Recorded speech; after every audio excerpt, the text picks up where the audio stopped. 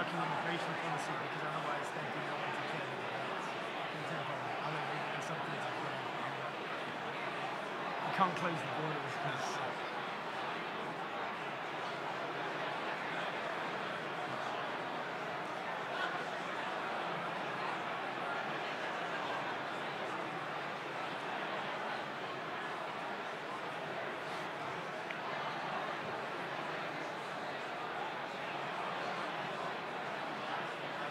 Text down.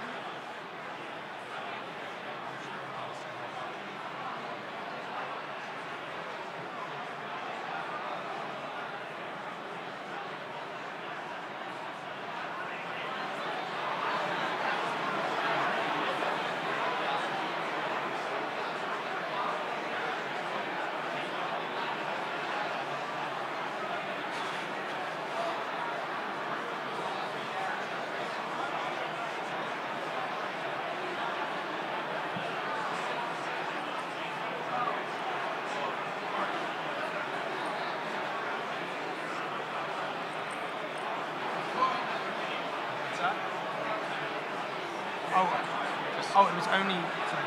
We're just wondering, uh, we're waiting on the internet, right? Is somebody going to signal us? Someone Somebody going to come over? someone signals us.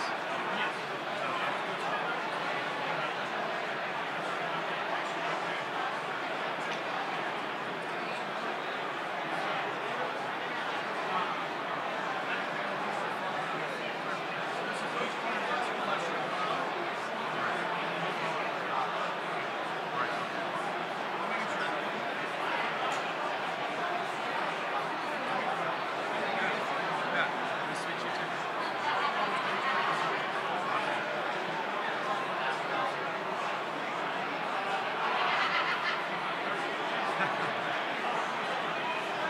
Right?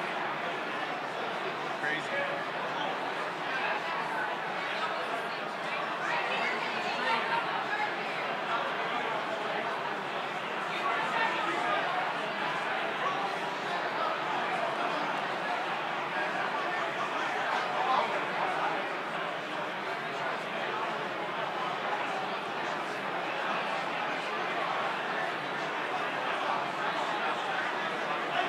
Sorry, folks. Uh, we're just waiting on the internet. Neither Robin and I know any good jokes, or we try to warm you up a little bit. Um, but just a reminder there is a silent auction going on. It's live right now. You can go ahead and bid on items that's going on today and tomorrow. So make sure you check that out on the far wall. I see the uh, candidates are getting antsy. They're ready to throw fists. Hopefully, we get that internet up soon so we don't have any violations of the NAP.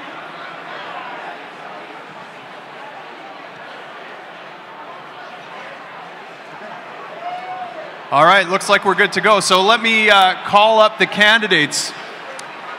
Nicholas Sarwark, come on up. Joshua Smith. Christopher Thrasher. And Matt Kuehnel.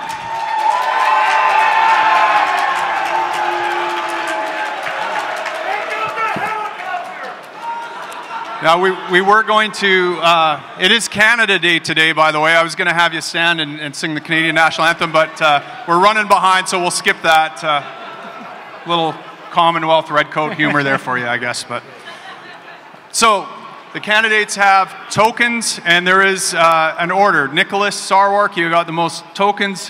Which position would you like? You get to choose first, second, third, or last. Last.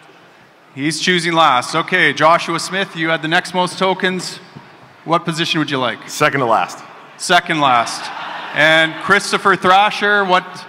Well, let's not buck the trend. Let's just go ahead third to last. How about Third last? All right. Okay, so we have our order. So it'll be Matt, Christopher, Joshua, and Nicholas in that order. And uh, Robin, you want to read them the rules? Okay. Here are the rules. Listen carefully. Each of our candidates will give us a three minute opening statement.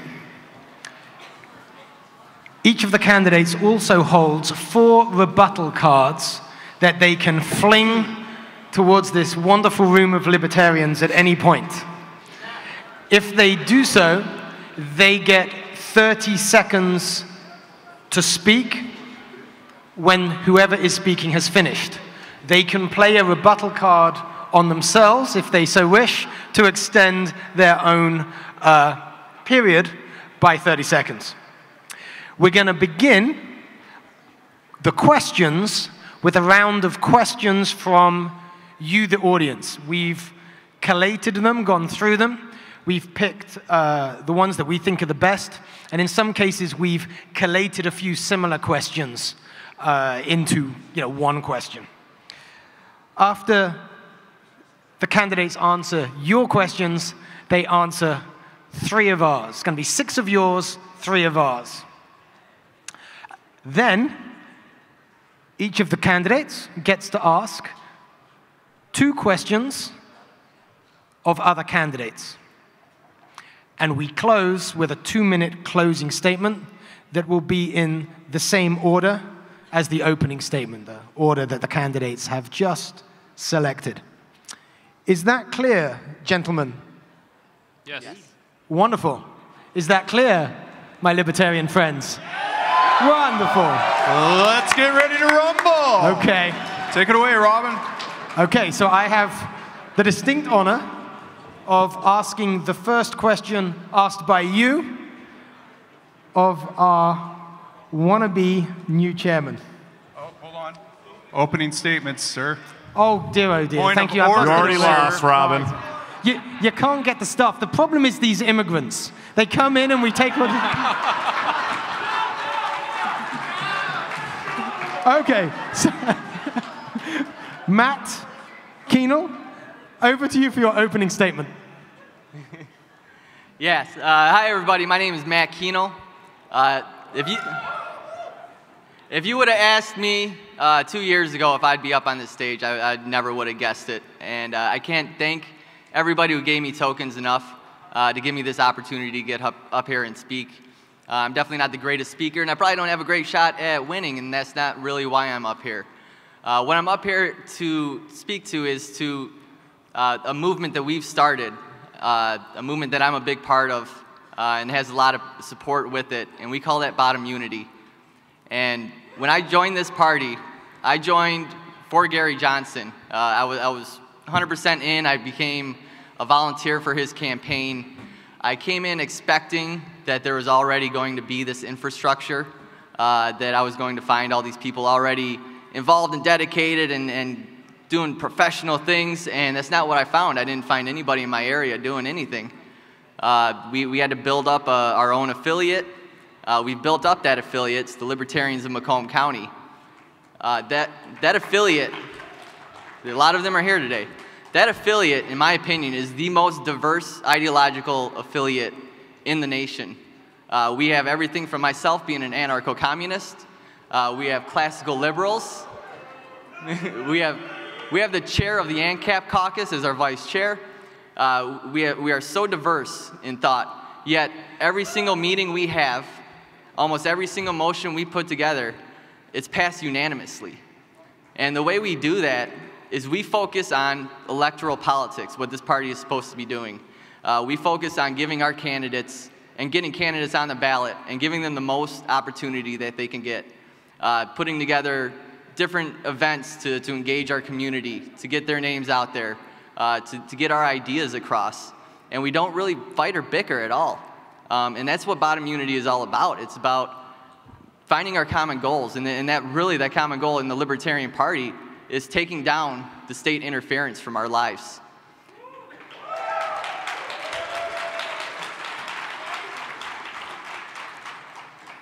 So, what I hope to see here in NOLA is for us to, to finally set aside these differences and, and decide that, you know, as long as we're working towards the same things, as long as we're helping each other and, and getting our candidates the, uh, the attention they deserve and our ideas the attention they deserve, that everybody has a spot in this party.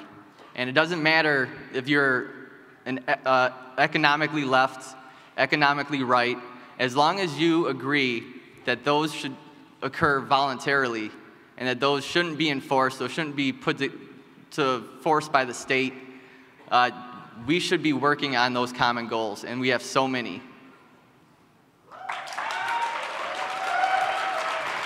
All right, Christopher Thrasher, you have three minutes. Good evening, everyone. Once again, my name is Christopher Thrasher, and I have Your been a not member. Oh, Mic's not working. Get close. Let's see. how about this? Ah, all right then. Well, hello. Once again, my name is Christopher Thrasher, and I have been a libertarian since 2008. Interestingly enough, I came from a very different place than probably most of the people in this room. I actually came from the left. I served as the national campaign coordinator for a senator from Alaska by the name of Mike Gravel, who decided to change from a Democrat to a libertarian. And I said, okay, great. What exactly is a libertarian? Okay, sure, I'm in. Well, little did I know that I had found my political home until I got to the convention in Denver. I left that convention with a stack of books about yay high, and uh, been here ever since. I must tell you, I am very impressed. Uh, first of all, I did want to say thank you very much to the Convention Oversight Committee. This is turning into an extremely successful convention. Once again, thank you to, for our host in, uh, in New Orleans here. Um, just to tell you a little bit more about myself, I have served as senior staff in four libertarian presidential campaigns. This gives me a very unique perspective when it comes to the National Party, having uh, had most of my focus on national races and having the ability and the privilege to travel across the country meeting libertarians in all sorts of states. In 2016, I served as the ballot access director for the Gary Johnson uh, ticket. I'm, I'm very, very proud of the efforts of all of the libertarians out there, libertarian activists, libertarian petition gatherers, donors. It was a colossal effort that ensured that every single American voter, for the first time in two decades, had the opportunity to, to, to vote for a libertarian candidate for president. I could not have done that alone, and to all of you who held up petition boards, who made calls, who organized, who stayed up until late hours the night before petition turn ins, thank you, because I could not have done that job without you. So, why am I here? Well, um, I'll tell you why I'm here. I'm here because, frankly, I think that we need to have a Libertarian Party chairperson that has a vision for a party that is growing. We need to stop talking about, well, let's see if we can pull off some Democrats. Oh, let's see if we can pull off some Republicans. Let's start talking about the largest single voting bloc in this country, and that is independent voters. They are the largest voting bloc. In addition, they are the fastest growing voter bloc. Consistently, when people are asked, should there be a third party, they say yes. There is a third party. That's us.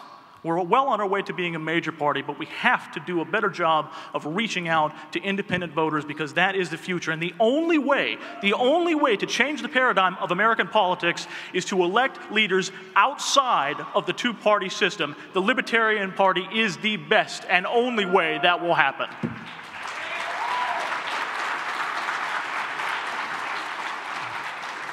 Thank you, Christopher. Over to you, Joshua. Thank you. Thank you. Libertarians, what's going on, guys? Yeah, baby. I'm happy to be up here. Trust me, it's been eight months and it's been a wild roller coaster. I've been, I've been to 21 states in the last five months and 17 state conventions. I don't know that there's ever been a chair candidate that's done that. Nick has? Have you done that? All right. Uh, I've seen many of your faces, and, and I've gotten the opportunity to really put my finger on the pulse of this party and find out what can help us be more successful. I want you to know that today you will hear tons of attacks on this stage on me. There's no doubt about that. If you've been following this race at all, it has been insane for all of us. You might hear about my child support. Someone up here might try to tell you that I don't care about my kids. That's false. I've gone through the family law system like many other men in America, in fact, millions that have been destroyed by the family court, and I came out on the other side a stronger man that still cared about his family.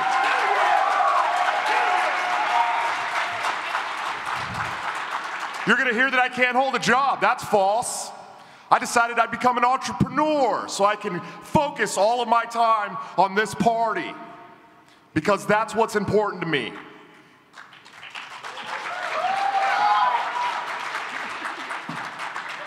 So don't let those attacks deter you. I am the only person in this race that has laid out a plan for the last eight months to make this party more successful. In those last eight months, I've come up with a pretty solid blueprint for success. I've talked about marketing and fundraising, something that this party has historically done horrendously. There is no doubt about that. No one in here can ignore that. I want to build a fundraising committee. Our best fundraisers in this country can raise money for our candidates like no one's business, and we never set them down and say, How can we be more successful? the same goes for marketing. I've talked about building coalitions. I've already started doing that. I've gone out and built coalitions with some of the biggest crypto communities in this country.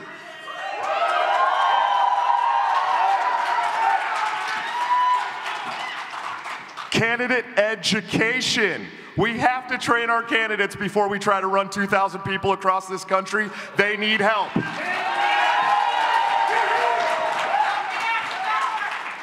I want to take this last 15 seconds to say that I appreciate all my competitors up here. You've all done something good for the movement, even you, Matt. Thank you very much, and let's get to work.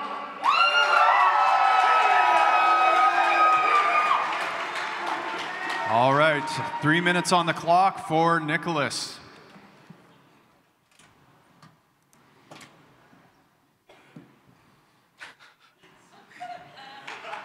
Hello, libertarians. It's so nice to see you again.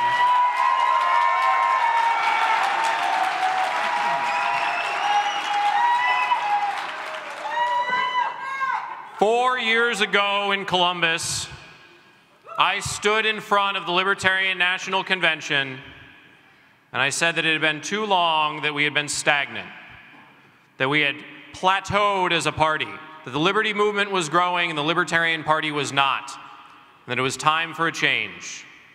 And in 2014, I asked you to elect me to be the least important person in the Libertarian Party.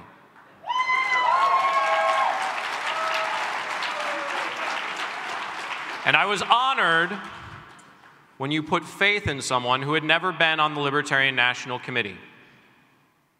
Sure, I had been a state chair and a state vice chair. Sure, I had recruited an entire ballot full of candidates with the help of Joe Johnson in Colorado. Sure, we had passed Amendment 64 in Colorado, the first recreational law in the United States to legalize cannabis. Sure, I had been to every national convention since the year 2000 but I had never been on the national committee. And a lot of people in this room did not vote for me then because I didn't have the experience. And in 2016 in Orlando, a lot of those same people saw the incredible growth that we had from 2014 to 2016, where we had 50 state ballot access for the first time in 16 years. We had professional fundraising, we had growth across all areas, and we nominated the most successful presidential ticket in Libertarian Party history.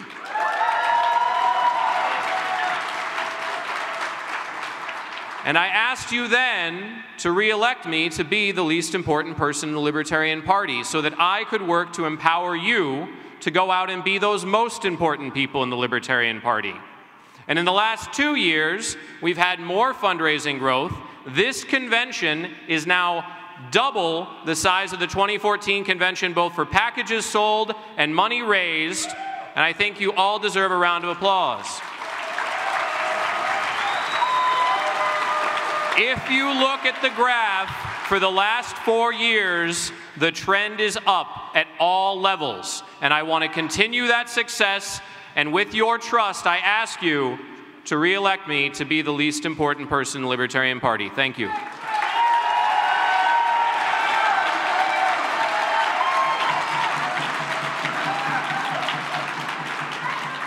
Thank you, Nick. It is time to move on to the questions, and I've been told that the answers are one minute long. Is that right? I think that's right. If I'm wrong, yes, that's right. I have the confirmation. Right. So, as I said earlier, the first question comes from you, the audience, and it is this. Oh, and it will be going, yes. First to, no, we're going to uh, change the order. So the first one now is Christopher. Okay, okay thank you. Goes as follows The chair position is unpaid.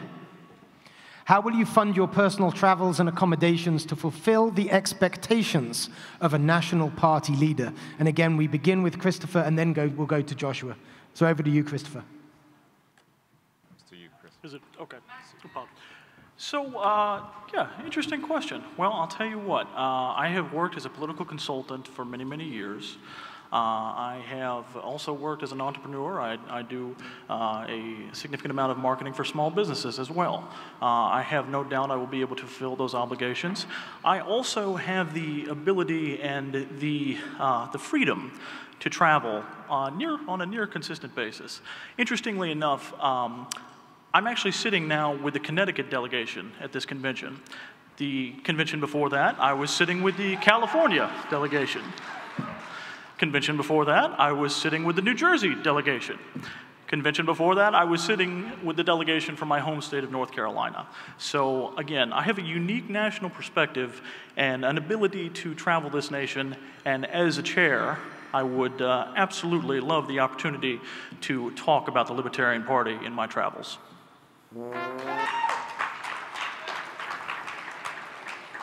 All right, Joshua Smith. Yeah, absolutely. So, in my opening, I talked about how I put my whole life on hold for this campaign because this party is the most important thing to me. So, what I did was I let go of my normal nine to five job and I became an entrepreneur. I started my own business. I've been working in the uh, rental property maintenance business on the side for the last 10 years and decided I had enough business and enough work to uh, start my own business. And so that gives me the freedom to travel, it gives me the freedom to set my own schedule, and it gives me the money that I need to make sure that I get to states that need our help. That's basically it. Thank you guys. I'll yield the floor.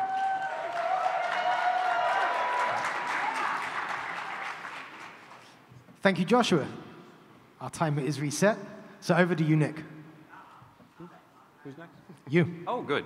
All right gosh, how will I be able to travel around and be the chair of the National Committee? I'm probably going to do it pretty much the same way that I've done it for the last four years. I make the time and I take the time to go around the country wherever I'm needed to speak at rallies, to speak at state conventions, to attend every national committee meeting, to attend every national convention. I have a comfortable life. Uh, we have a small business. I'm working a full time job. My wife Valerie and our four kids are back there. It's worked for us for four years now, and it'll probably continue to work for the next two. So, when it comes to knowing what the job entails and how hard it can be, and whether or not I know how to do it, I can assure you it won't be a problem.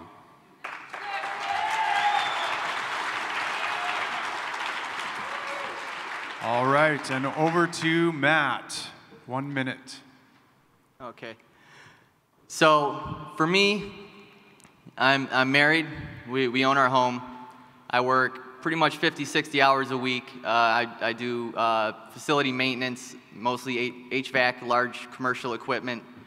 Uh, my wife's going through nursing school. She has one year left. Uh, so we're surviving on my income, and we're pretty lucky to be able to survive on one income these days uh, with our with our age bracket. Millennials aren't typically able to survive off one income. Uh, so honestly, unless I start a GoFundMe, I'm not going to be able to, so please don't vote for me.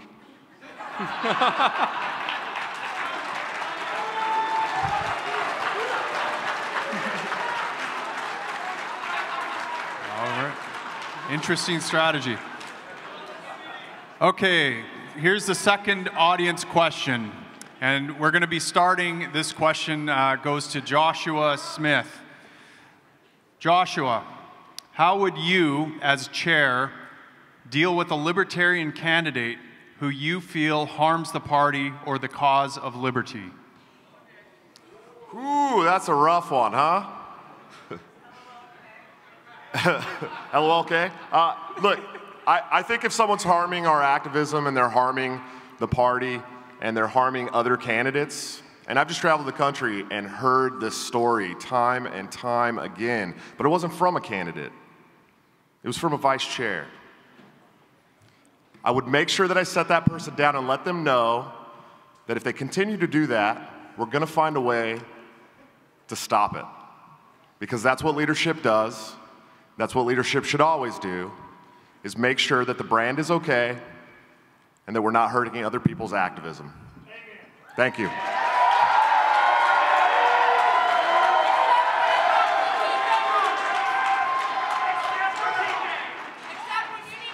That, quiet, please. Hey, everyone, we're going to keep this respectful. This is for us to hear the candidates, not for the candidates to hear you. Joshua, thank you. Nick, over to you. All right. When you have, repeat the question, please, real quick. Okay, the question is How would you, as chair, deal with a libertarian candidate who you feel harms the party or the cause of liberty? Okay. So the answer to that is you talk to the candidate. If the candidate's doing something that isn't right, you talk to them. You try to put out a message that differentiates. We did this when we had a candidate running for president who said things about a no fly list and firearms rights that didn't align with the Libertarian Party platform. But what we didn't do was we didn't call them out publicly, we didn't renounce the ticket. The National Party put out a statement clarifying our position on gun rights. When a candidate says something that's off message or off platform, if you draw attention to it, you damage the party. And as chair, the party is paramount.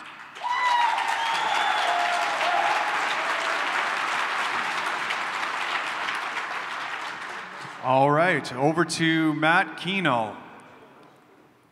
Okay, so obviously, as, as myself, I'm running for state representative as an anarcho communist. And a lot of people feel like that hurts their campaigns or, or that somehow I'm, I'm a threat to them. And I feel the same way sometimes when it comes to the alt right and these, these hard right candidates. But to me, the only way that you effectively oppose that is by being the example, by being the better candidate, by supporting candidates that you believe are better candidates. Put, make their voices louder, make your voice louder. All right. Thank you, Matt. Over to you, Christopher. Do you need the question again, or are you good? I, I, think I've, i can uh, roll with it here. Now, this is an interesting question because we're asking about candidates. The role of the national chair is certainly to keep uh, a, a message of libertarianism on platform coming from the national office. However, I would have to defer to the state in which that candidate is running because there are only so many things that national can do. It is up to the states to make a decision whether to repudiate or whether to uh, perhaps uh, make an effort to remove somebody from the ballot. That is up to the state parties. However, I do agree with the current chair in saying that it must come from the national party that, hey, this is not what we believe.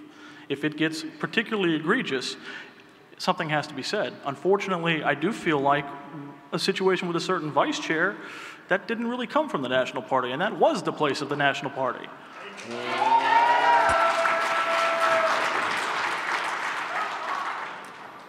Thank you. So now over to the third question from the audience. And it will be uh, Nick who will be the first person to answer this. The question is as follows What efforts would you prioritize to get the LP ready for the 2020 campaign? All right. So, what efforts I am prioritizing to get the LP ready for the 2018 camp for the 2020 campaign? Yes. For the 2020 campaign is the efforts that we're doing in the 2018 campaign. The reason to recruit 2,000 candidates nationwide, and by the way, I will fail, we'll probably only have a few over a thousand, is to set the stage for the best presidential nominating convention we've ever had in Austin 2020. I know that there are people in this room who are not happy with the likely nominees for the 2020 presidential nomination. The way to fix that is not to try and twist the arm of Drew Carey or Penn Jillette or whoever your pipe dream is. The way to fix that is to build this party into such a political force through fundraising and doing well in elections that better people want to run for our nomination.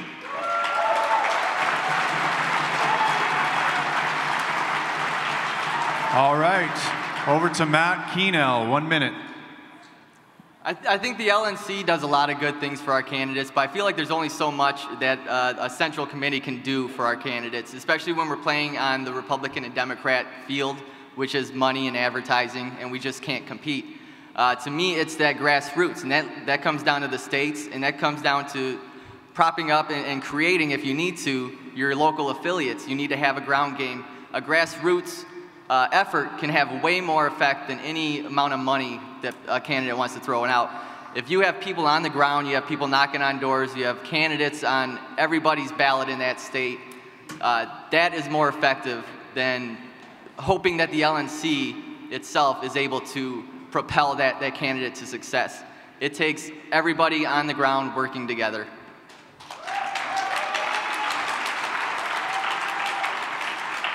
Thank you, Matt. So, Christopher, over to you. Thank you. So, first and foremost, the question is what efforts to prioritize. While, of course, growing membership with an outreach to independent voters is huge and fundraising development is also huge, what I think is very important and something that we're not doing right now is focusing on a plan for ballot access. Most of my job in 2016 as a ballot access director for Gary Johnson's campaign unfortunately consisted of going and putting out fires. We have the data. We know what we need to do in order to maintain ballot access and to get it in the, in the states that we have to petition. The Ballot Access Committee, head, headed by Mr. Ken Moellman, who actually, by the way, also put together this debate, so cheers to him for this. Uh, now, on that ballot access committee, we delivered a report about yay big to the National Committee, detailing every single aspect that we had to go through in order to achieve that 50 state ballot access. From that, a plan could have been developed that could be already in motion. Instead, we're still, we're already putting out fires right. right. now. Thank you very much. Thanks for the music. That was, that was good. Nice touch. Uh, thanks, Christopher. On to you, Joshua, one minute. Yeah, absolutely. We, I'm glad that the current chair talked about fundraising. That's the first time I've heard him actually say it in person. I think that fundraising is going to be so, so important going into 2020. We're working with less than $2 million right now. We can't exist as a national political party on $2 million. We just cannot do it anymore. It's insane to think that we can. 18 years ago, we had a $3 million budget, and now we have half of that. We gotta stop. We gotta start focusing on marketing. Marketing is so important, especially digital marketing today. It's the digital era. We don't focus on, on it at all. And we need to build a base for our down ballot candidates around the country because grassroots means everything to this party. We will have a successful 2020 if we have successful down ballot candidates going into the election. Thank you. All right, thank you, Joshua. And just to remind the candidates, if you do want more time, if you want an extra 30 seconds, play your rebuttal card and we're happy to accommodate you. All right, here's the fourth question from the audience, and I guess we are going to Matt Kuehnel for this one. What work would you do to convince elected officials of other parties to switch to our party, assuming that they're aligned with our statement of principles? Honestly, it's, it's tough because I don't know how many are really aligned with our principles. Uh, so, to me, it's more about fostering, like I said, you get people engaged in your community. You get normal people up there, the ones that you can trust that aren't going to be corrupted when, once they get into the game of politics because it's so easy uh, to start having people give you money and then you feel obligated and then you start taking on different positions and you change. Uh, so I think it's really about education first. You educate people on the libertarian ideals, and then you give them the tools to go out there and be candidates.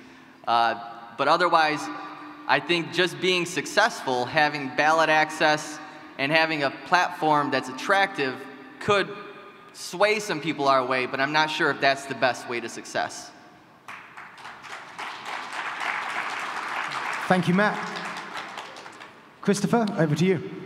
While I applaud the efforts that have been undertaken over the past few years with trying to get sitting elected officials over to the Libertarian Party, frankly, that's not my priority. My priority is electing libertarians. Once again, I said this before the only way to change the paradigm of electoral politics in this nation is to elect candidates outside of the two party system. Those candidates need to be libertarians. We need to give our candidates and our activists the best possible tools and the best possible chance to actually get elected. So, while again, of course, I would continue outreach to those who are out there and may share our principles in state legislators and whatnot, I am more interested in electing libertarians so that they do not immediately, uh, once they switch, you know, yeah, it's great when you get somebody who's, who's about to retire and you get somebody who, you know, uh, now all of a sudden gets primaried. No, we need to give the tools to ensure that we elect libertarians, and that would be my priority as chair. All right, thank you, Christopher. Joshua. What do you think about Melwell? Is that the question?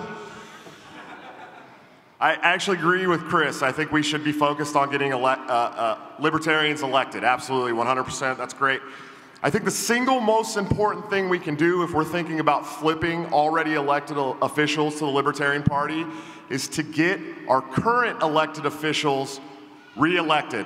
Let's give a round of applause for Brandon and Caleb Dyer and Laura Ebke because those are important to our party. I'm very much from the school of Larry Sharpe in this aspect. I will sit down with anybody in this country that wants to talk about liberty from any party, any background, and any walk of life, and I will sell them the ideals that we're trying to sell daily. And that is how we move forward. Thank you.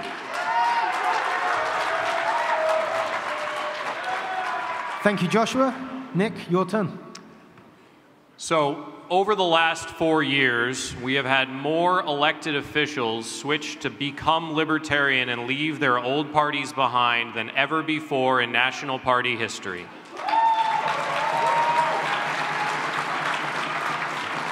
So while the other gentlemen on the stage can either talk about how it's not important or talk about how they would do it, I'm going to tell you how we do do it. We sit down and we have the conversations with people who are not happy in their old parties. When we have to fly to Washington, D.C. to be deposed by the FEC, we take a trip over to Capitol Hill to meet with a congressman from Michigan. When we go to a state convention and the state chair says, I have a state representative who's really unhappy with their old party, we take the time to go and sit down with them and talk to them about the Libertarian Party. We reach out and we ask. That's how we bring people in at all levels, whether they're switching or we're recruiting or we're fundraising.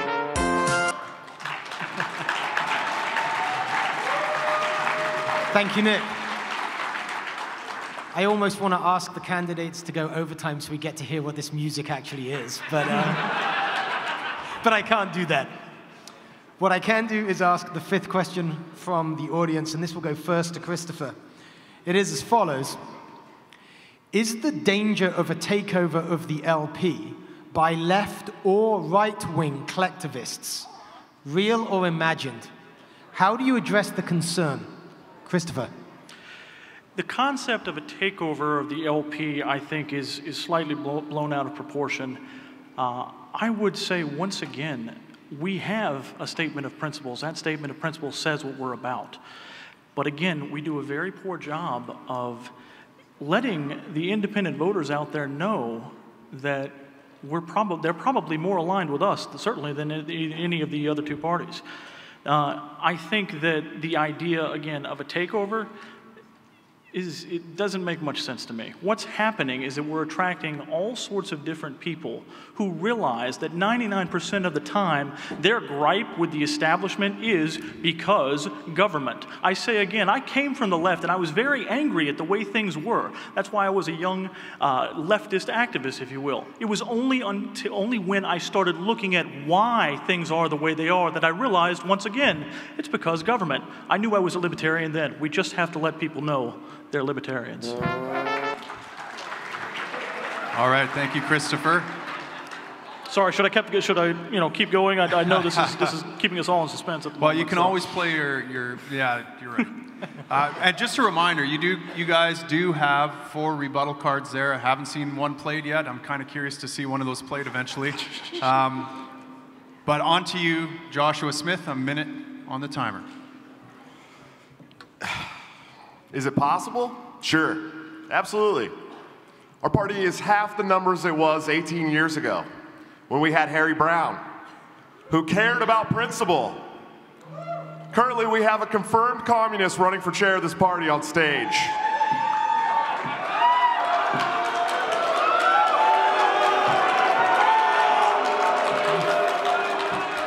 It's absolutely possible. And until we grow this party with libertarians, it will continue to be possible. And that's why I say my first month as chair, I will reaffirm our principles, including property rights, and make sure that this country knows what we stand for.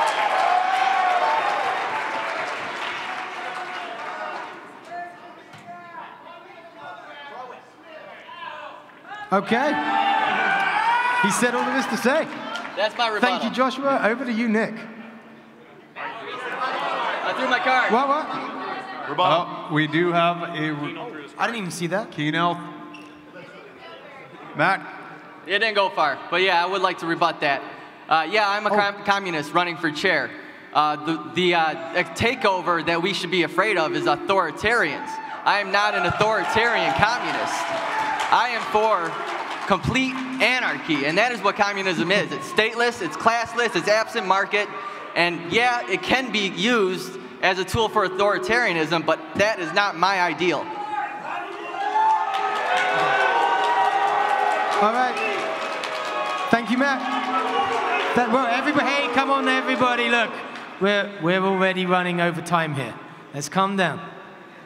I'm sure you can all get passionate about this stuff over dinner later. Just hold tight. try to be more Okay. British, is what he's trying to yeah, say. Yeah, Basically, be like the English. That's what I'm trying to say. Um, Nick, over to you, sir. So I've been around in this party for nearly 20 years, and people have been afraid of a takeover for almost that entire time. And they've been spending more time worried about the communists or the alt-rightists or the Republicans or the Democrats who are under the bed than in building the party into something that would be worth taking over. And I stopped worrying about who's trying to get in, and I started inviting people in because the fear of a takeover comes from a fundamental misconception that some people in this party have that I don't share, which is the idea that the Libertarian Party's values and our platform are too weak to suffer contact with people that don't agree with us on everything. And I think we, as libertarians and libertarianism, are more powerful than any ideology that might come in that door.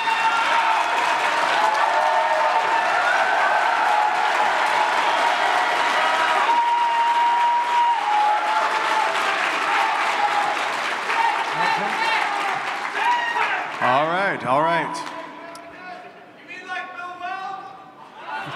Okay, thank you, Nick. Okay, we're going back over to Matt. You got have a minute to answer this question. Matt, go ahead. The only way that this party could ever be taken over, and, and again, it's not a left or right thing, it's an authoritarian thing. The only way it could ever be taken over is if good people leave this party. So, what we need to do is stick around. We need to make sure we're, we're here for that fight. We need to make sure we're in, we're in that fight in our states, in our county, and make sure that we are promoting the ideals that we believe are the most ethical. There's always going to be, and just, just like communists, just like libertarianism, people will use our language, they will distort our, our ideals to match theirs, they will exploit it, and they will give us a bad name.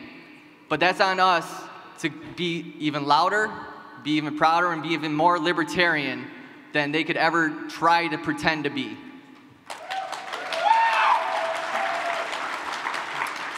All right. Our final question from the audience, and we are going to Joshua Smith with this one first. How should the LP most effectively exploit the current disillusionment with the political status quo? I'm sorry, I couldn't hear you. How should the Libertarian Party most effectively exploit the current disillusionment with the political status quo? Well, we talked about it earlier. The independent block is a very important block, but, but there's another block we aren't really talking about. There's 60% of the voters or of the non-voters in this country are not voting. They're just not. And we need to reach out to those people and we need to set ourselves apart from the status quo by reaffirming our principles, by showing that we don't support them, we don't support their candidates, and being the second party, not the third party. Thank you.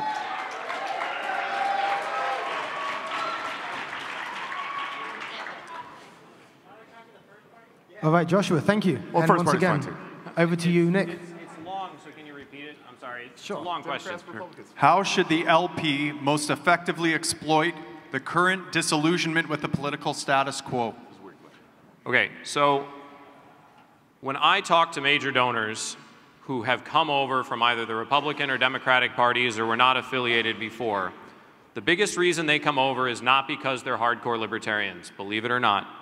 The reason they come over is that they neither trust the Republicans nor the Democrats to live up to the principles that they profess to espouse long, long ago.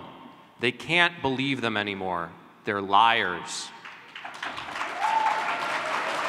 being bold with our principles and how we are neither left nor right, but we are free. Free on all issues all the time, always up, never down, always for the individual liberty and never for government control. And they believe us. They know that we are authentic, and that's why fundraising has gone up. That's why people are switching parties. That's why we have more candidates running. That's what's making us successful. All right. Thank you, Nick. Uh, over to you, Matt. I, I think where the major parties stay, and, and I see it, uh, some of our candidates try to take this route, is uh, by offering compromises. And we don't want to offer compromises, we want to make demands. So we want to connect with our voters and make the demands that they want to see. Uh, for one, abolish ICE. That is huge right now. Abolish ICE and you will get your message out. Uh, another one, end the police state. That is a message people want to hear right now. So you be loud about it. Uh, another one, and some of you might not agree with it, rent is theft. We have we have rent at such high rates that the poor can't afford to survive. Rent assistance is Let him be subsidies for the rich. Let. Whoa, whoa, whoa, whoa, whoa, whoa, whoa, whoa. Right. Hold on. That is. Look. Look. I. You may not agree with everything you hear up on the stage. That is the whole point. Right? So, Matt. So, Matt, you were drowned out for 15 seconds. If you would like to repeat the last 15 seconds, I hope that the people in front of you will give you the courtesy of hearing it. Go ahead. What I'm trying to say is the problems my constituents face may not be yours. Stop and you it. have to find out what it is that your constituents are concerned about, and you have to offer solutions. And you may not like my solutions for my constituents, but you got to find your own. Thank you, Matt. All right, yeah. Try to be a little bit more English, will you? All right. We, oh, we're starting. No, we, we, were- we did it. Okay, over to you, Christopher. Thank you. Uh, apologies, my answer is probably not going to invoke that uh, drastic of a reaction, but uh, the question is how should we exploit the disillusionment, disillusionment with the current establishment? Well, again, I've got a boring answer for you. We have to do a better job of taking care of the business of the party. We have to do a better job of putting in place the systems that are necessary to give our candidates and our activists the best possible chance for success. We have to do things like uh, develop clear and concise messaging. We have to use professional marketing. We need to stop the reliance on 80s and 90s tactics. We still do a whole lot of direct mail, and yes, it can be successful. However, we should be spending a whole lot more on online marketing than we are on direct mail. It is time that the Libertarian Party grows up, becomes a professional political party utilizing the tools of the 21st century in order to stoke this disillusionment, because it's there. They need to know that we're here.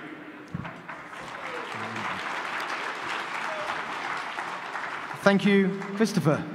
Now, I think we've got this right. We're moving on now to the first moderator's question. Tim and I spent a long time in the room over there coming up with these. It was fun. You're not going to get all of the ones we came up with, but here's a few.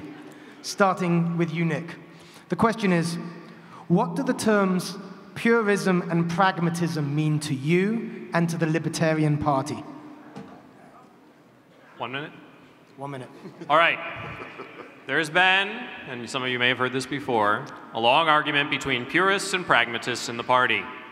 On this stage, you see the argument between people on the left and people on the right in this party.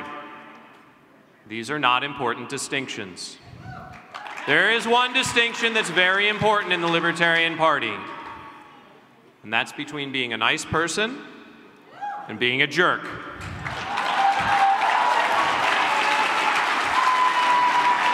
And I don't care if you're a purist or a pragmatist, if you're less left or right. I can teach a nice person about libertarianism, but a jerk's a jerk's a jerk.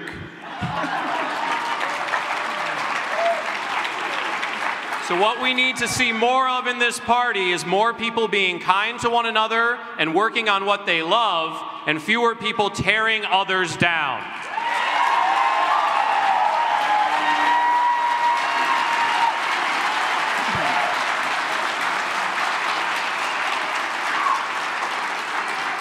All right. Thanks, Nick.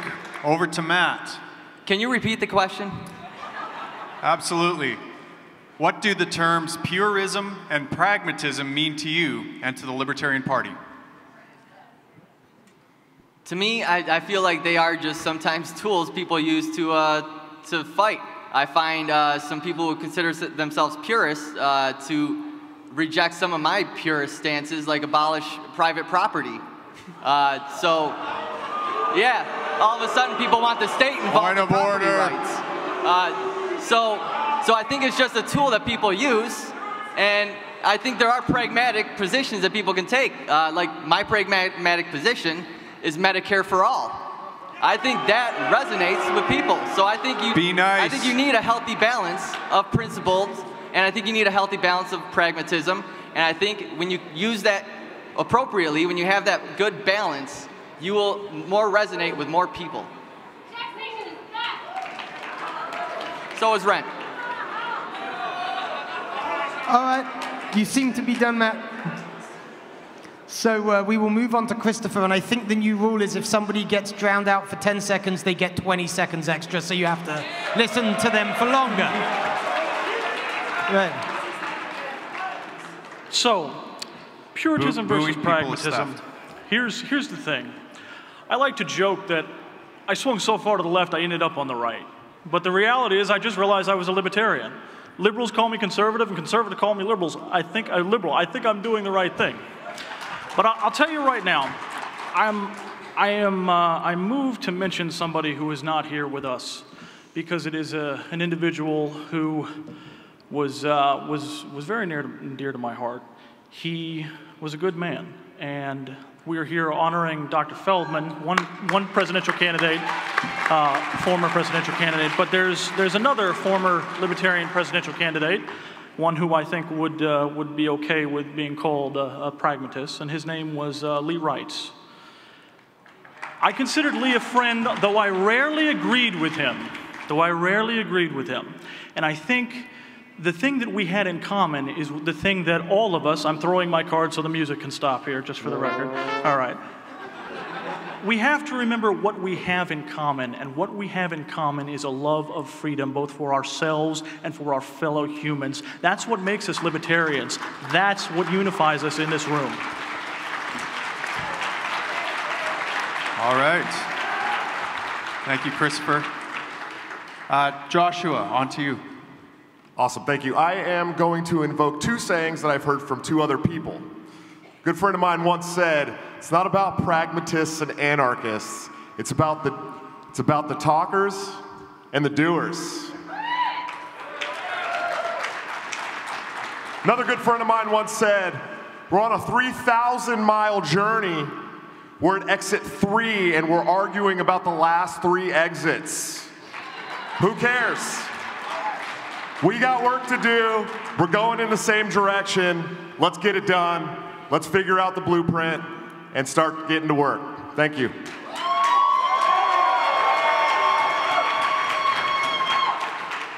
All right, we're on to the next question. And just a reminder uh, booing is theft of their time. and with that, the, the next question is to Matt Kuehnel. Does the internal culture of the party need to change? If so, what is the role of the chair in changing it? Uh, absolutely none. Uh, the, the culture of the party is made up by the membership. Uh, I, I don't think there's a real need for a culture shift, um, but, but I think we do need to catch up with the times a bit. Uh, I think we do need to uh, encourage new members, uh, young members. I think we need to uh, get, get the youth involved uh, while they're young. Uh, that's when you get brand loyalty. Um, so I think when we try to lure, uh, you know, established people who have been voting Democrat or Republican their whole lives, it, it's, the success rate of that is too low. Uh, what we need to do is really aim for the, for the youth vote.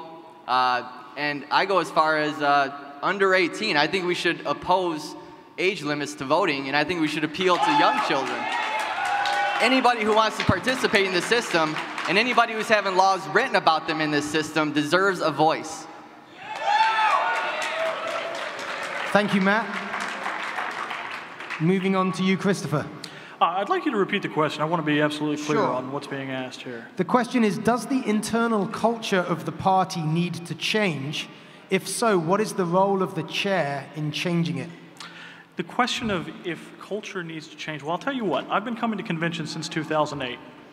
I see a lot of old friends, I see a lot of faces that I recognize, and I see a lot of faces that I don't. It's clear to me that we do have new people coming in every time. So if you ask, does it need to change? It already is because, again, we're bringing new people in. We're letting people know that they are libertarians. They probably just didn't know it until somebody actually told them, hey, this is what we believe. And then we said, hey, here's another option besides the two party system. That's what we have to focus on. Again, I, I, these questions, some of them I think are a little off the rails for what we really need to be talking about. We need to be talking about how we're going to grow the party, how we're actually going to put the systems in place in the inner workings of the party in order to give our activists and our candidates the best possible chance to win. It is about electing libertarians and it is about enticing independent voters across this nation to remind them that they are, in fact, libertarians. We Is that almost La heard it. I can't tell. Uh, all right, thank you, Christopher. You know, I kind of feel bad about these questions that we came up with. Maybe they weren't the greatest, but uh, anyways. Uh, moving on to Joshua, you have a minute. You know, I think that's a really loaded question, to be honest with you. There's several different cultures in this party. I think that a national leadership team needs to set an example for our state affiliates, needs to set an example for our local affiliates. And I believe that the LNC culture can absolutely use a change.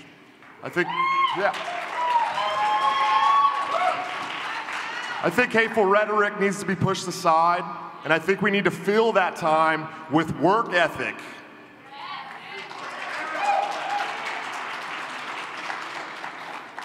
I think we need to fill that time with getting candidates elected at all levels of office across the entire nation and making our party much more successful. Thank you.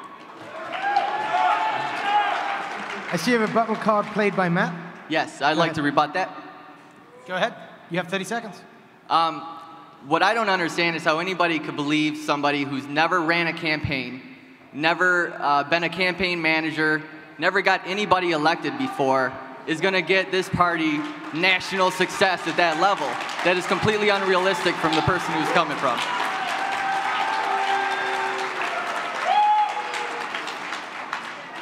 And I think Thank you, Matt. it's over to you, Nick, All to right. answer this question. The internal culture of the Libertarian Party doesn't need to change. I've seen libertarians offer up their houses, their funds, their food to help people attend this convention who couldn't afford it. I've seen people cross all of these ideological aisles that people say exist in this party because libertarians are not just a political party, we are family and we love each other.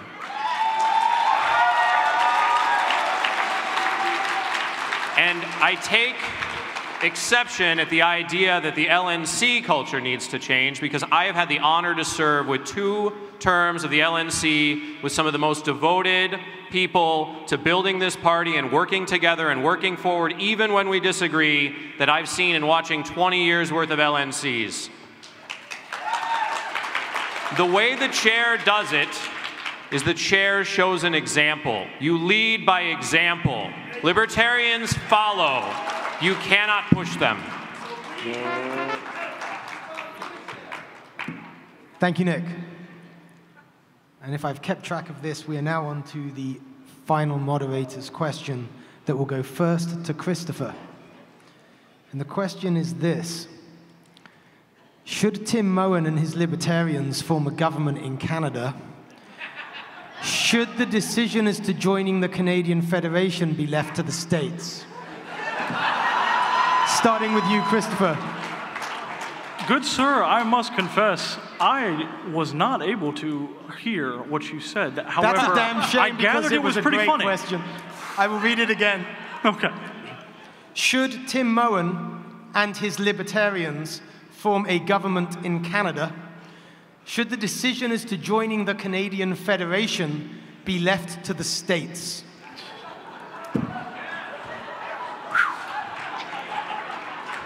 Okay, well, you know, I'm going to respectfully shift, and uh, I, I just got to tell you, although I appreciate the question, I'm not sure I'm the best qualified to answer that. Because I'm sitting here, or standing here as it were, and I'm running for chair of the Libertarian National Party. I'm worried about getting libertarians elected. I'm worried about getting the things done that is necessary once again to elect libertarians. That's what we're here to talk about. That's what we're here to talk about. And respectfully, respectfully, I, I will say that uh, people should have the, uh, the right to, uh, to choose just about all their associations. That's what volunteerism is, and that is a, that is a principle of the Libertarian Party. Thank you, Christopher. Joshua Smith, you I'm joining the definitely Canadian not qualified Federation to or talk about Canadian politics, but I will say this. I followed Tim Moen for a long time. I'm a big fan, actually. Thank you for this. And I think Tim Moen and his libertarians should be able to do whatever they want as long as they're not harming or taking somebody else's property. Thank you. Short and simple. Over to you, Nick. That's it. That's it. That's all I got, man. So, should Tim manage to form a government in Canada, one, I'd be kicking myself because why the hell did we let the Canadians get out in front of us? But I'll also say what I said when I spoke at the Libertarian Party of Washington convention in Vancouver. Joshua wasn't there, but Tim Moen was. And I said that if Tim Moen ever moves south of the border and naturalizes, I'm immediately going to run him for LNC chair because he's taller, he's more attractive, and he's a goddamn hero. Pretty good, pretty good answer. But uh, I see Joshua threw out his rebuttal card. Go ahead. I did, Am I I, not good looking? What, what are you going to rebut here? What's that? One more time, Tim. What'd you say? Oh, you got 30 seconds. Oh, Go great, ahead and rebut. Uh, I didn't live in Washington at the time, Nick. Thank you very much. But I just went to 17 state conventions across the country, and I saw you at three. I appreciate it.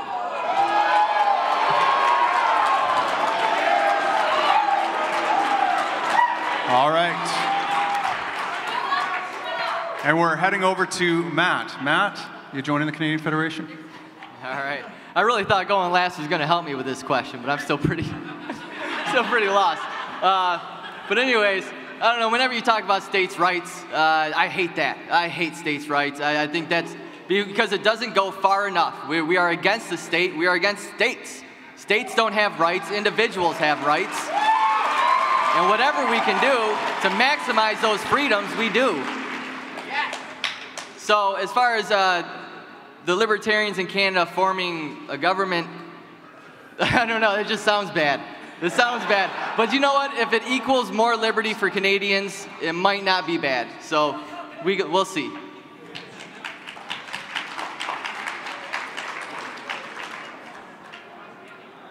All right. Was that everyone? Yeah, that's everyone. Yes. Okay, now we're on to the fun part here. So each candidate will have two questions. They're going to ask them uh, one at a time do the first round of questions, and then we'll go to the next question and do another round.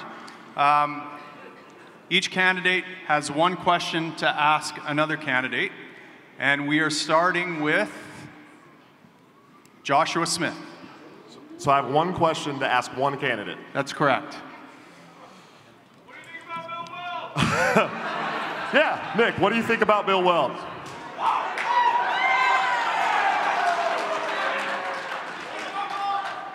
One minute? One minute to answer. All right. Thank you, guys. What I think about Bill Weld is that he is still in the Libertarian Party when many of his opponents were not. That he goes around the country raising money for and endorsing Libertarian candidates. That he fundraises for us. And that the exposure of Bill Weld to the Libertarian Party has not made the Libertarian Party more like an establishment Republican but it's made Bill Weld a lot more like a libertarian.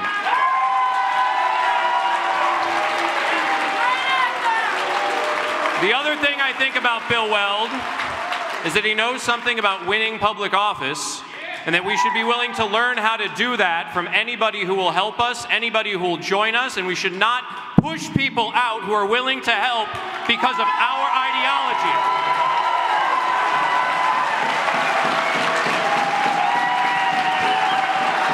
Carry on, Nick.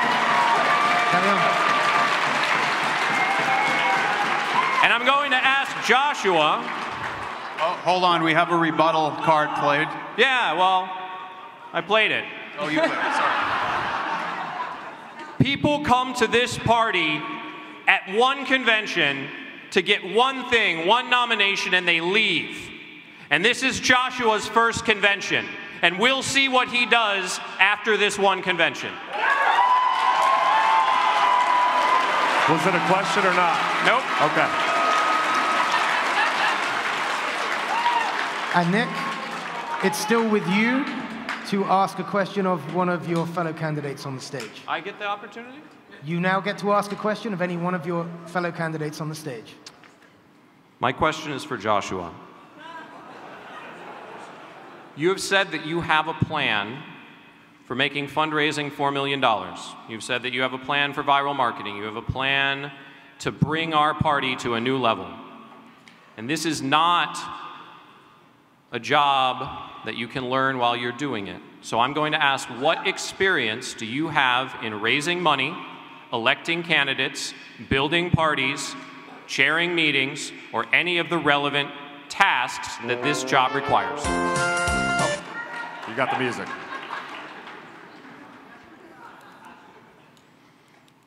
Go ahead, Joshua. Oh, I appreciate the question, Nick. Uh, I don't have the relevant experience. I've talked about that actually over the last eight months. That's fine. But I've been able to build a team, coalitions with the crypto community, people that are in this room like Nexus Earth, Jim Cantrell from Vector Space Systems. I've been able to start building a policy team so we can artfully craft a libertarian message that the, the population can digest. Uh, I've, I've been able to travel to 17 states. I, I, went to Oklahoma on 15 minutes notice and I was able to chair their state convention. It's not always about experience, Nick. It's about vision. It's about ideas. It's about coalition building. It's about a blueprint for success. And I've already started doing these things and I know they will be successful. Thank you.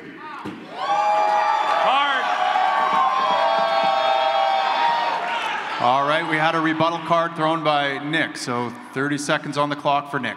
I've heard a lot about coalitions and outreach and teams, but I've heard nothing about your county party. How many members does it have and how many did it used to have? Your campaign for public office, why did you stop and who did you recruit to replace you? Your state party, what fundraising you've done for anything other than your own race for chair.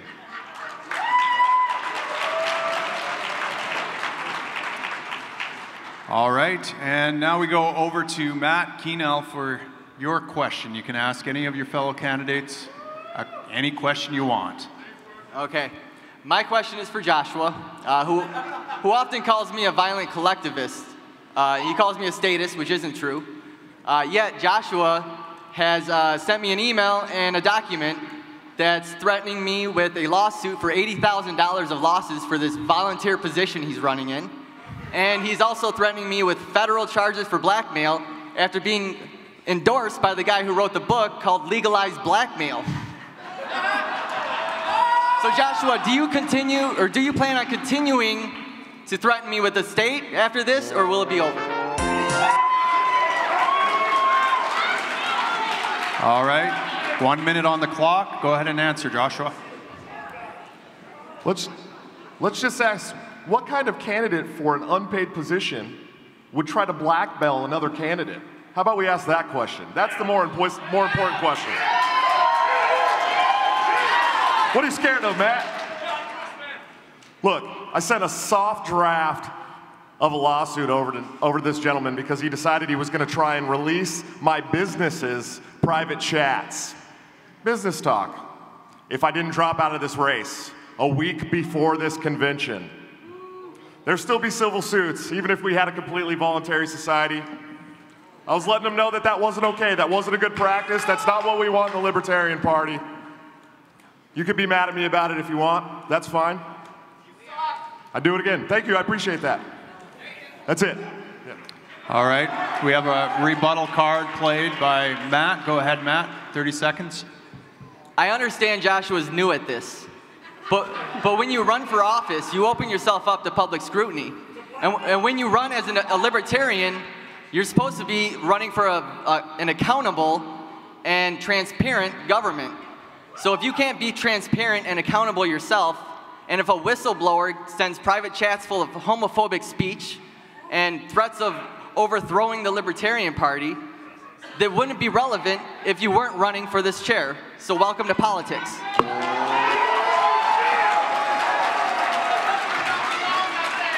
we, we've had a rebuttal card played by Christopher. So, Christopher, over to you. What we are witnessing at this moment is exactly why I made the decision to run for chair. I have watched as this race has devolved into bitter name calling and getting so far from the subject of, at hand, which is once again, how do we elect libertarians? Enough of this. Let's get back to talking about how we do the business of the party and how we give our candidates and our activists the best possible chance for success. It is not through personal attacks. It is not from, from going back and forth up here on the stage, wasting everybody's time talking about personal bickering. Respectfully, gentlemen, let's get back to the task at hand. How are we going to elect libertarians? Thank you, Christopher. And Christopher, it is actually Christopher, it is actually your turn, I believe, to ask a question of any of your fellow candidates. You might choose that one. Over to you, Christopher, again. My question is to the esteemed chair. And I would preface this by saying, uh, Mr. Sarwark, I have uh, the utmost respect for you, I truly do. But my question to you is there anything, say, at the 2016 National Convention or in your second term as chair, that you would do differently given the opportunity? Anything at the. Over to you, Nick. One minute.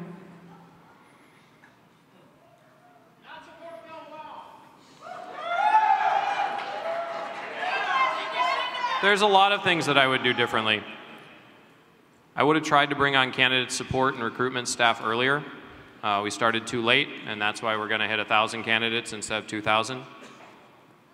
I would have tried to build up, you know, have a full-time press secretary earlier. Part of the thing that is tough about being chair of the LNC is that you're not really in charge. You are really the least important person in the party. And so you can go exactly as fast as you, the delegates, and the other members of the LNC want to go. And so in the first term, we added an affiliate support specialist. In the second term, we added a press secretary, two development people, two candidate support and recruitment people, and we started having growth. But the idea that we could go faster than that, you know, I don't think it's possible. I, I think we have to, take another 30 seconds. We have to work with what people can do. We've never failed a ballot access drive in the entire time that I've been chair, but we've walked away from a couple because there are some state parties that weren't ready to go along with us. We've recruited candidates, and some of them have been great, and some of them haven't. We've supported candidates, and some of them have been great, and some of them haven't. I have made mistakes as chair, and I will make more mistakes if you elect me again. Because the only way to not make mistakes is to not do anything. But I won't make the same mistakes.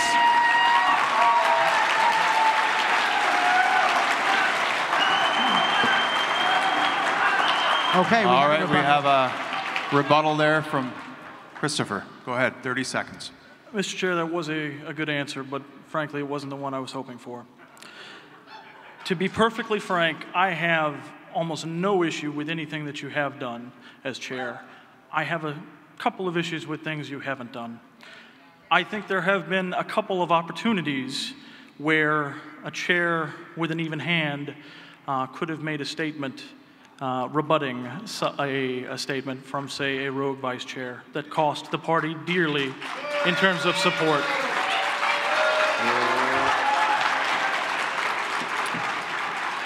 All right, we are moving on to the second and final round of candidate questions. We're going to start with Nick. Nick, go ahead and ask any of the candidates a question.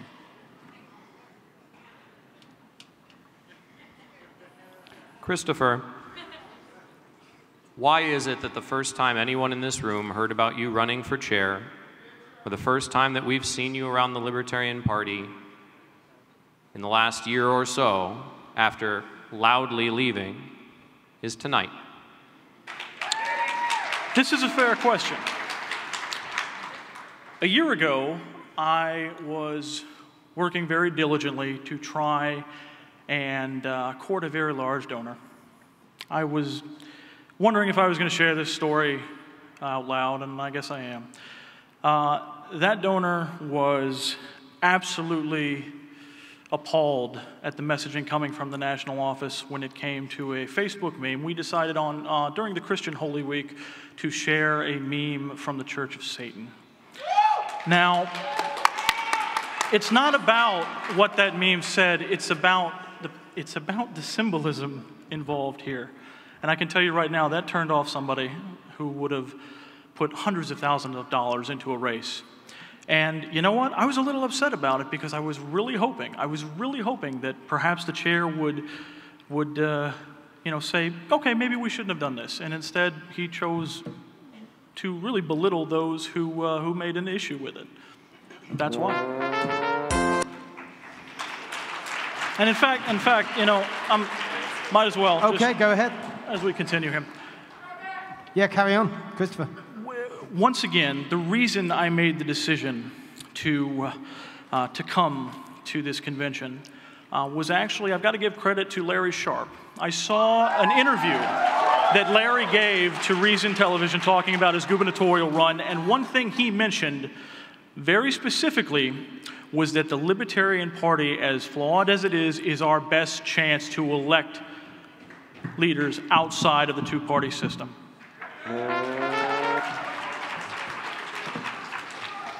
Okay, thank you, Christopher. So, Matt, this is your opportunity, your last opportunity to ask a question of any of your fellow candidates. Okay, my question is for Joshua. Shocking. Uh, I want to know why it is that he receives these endorsements from people like Liberty Hangout, uh, recently Augustus Invictus, uh, all these right-leaning authoritarians, and he, I want to know why that is and why he doesn't reject them and why he. Br- br- br- I, di- I didn't set up Liberty Hey, Hangout hey, no, hey, endorsing this- him. So I'd, I'd like to know why is he? Why does he have such a strong alt-right following?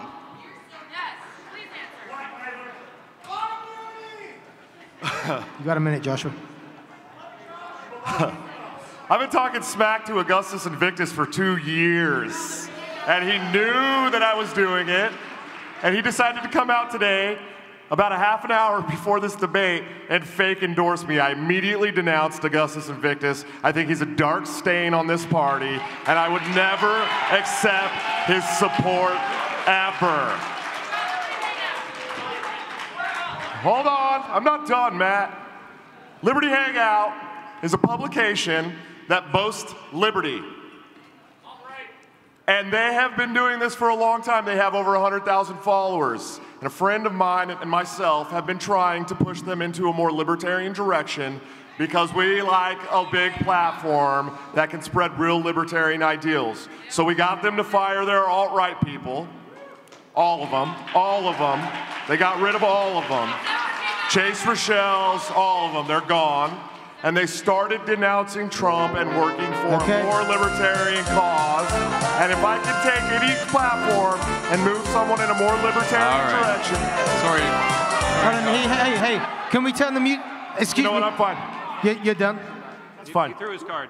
That's all right. You, yeah, yeah, no, I saw the card. It was the music I wanted it's cool, it's turned fine. off. That's all You're right. good, okay. Hey, look, okay, look. If I, if we can move any big platform like that into a more libertarian direction, we need to do it. We're not a big party. We need to be bigger.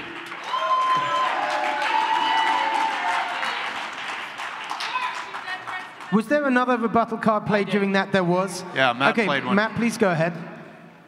I like to say every so often Joshua will come out and say, oh, I don't, I don't support them, blah blah blah. But they still support you, and you don't figure out why. You don't care why. You accept their endorsements no matter what. And just the other day, they posted, "Open borders are communists." so they still believe in deporting peaceful people from this country.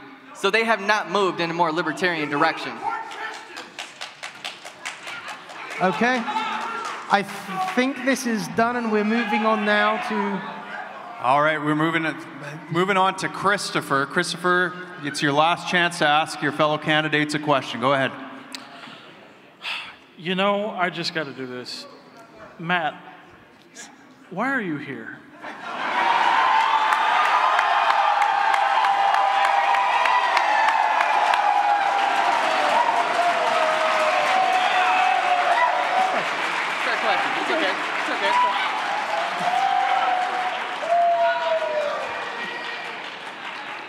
All right, over to Matt. Uh, you have one minute to answer the question. So I, I explained earlier, Gary Johnson is what brought me into this party. Uh, but there's a long history before that. Uh, when I was a young teenager and an early adult, I was just a, a punk. I lived on the streets, I squatted in houses, I lived in the ghettos, and these are my people. And when I wanted to promote Gary Johnson to them, they didn't want to hear it. Uh, Ron Paul attracted me with his abolishment language and his anti war, and I wanted to, to figure out a way to get across to the people who I identify with. I found the left libertarian ideals, and I connected with them myself. I identify with them myself, and I'm able to use that to, to promote the same uh, platform, basically. I'm, I'm still in line with the platform of abolishing the government to its maximum. I want it all gone. So that's why I'm here. I feel like this is the party where if you want to abolish the whole state, this is where you do it. All right, and we have uh, another rebuttal card played by Joshua. Joshua, 30 seconds to rebut. Since no one else on this stage is going to say it, I'm just going to go ahead and say it. Rent and property are not theft. Thank you, guys.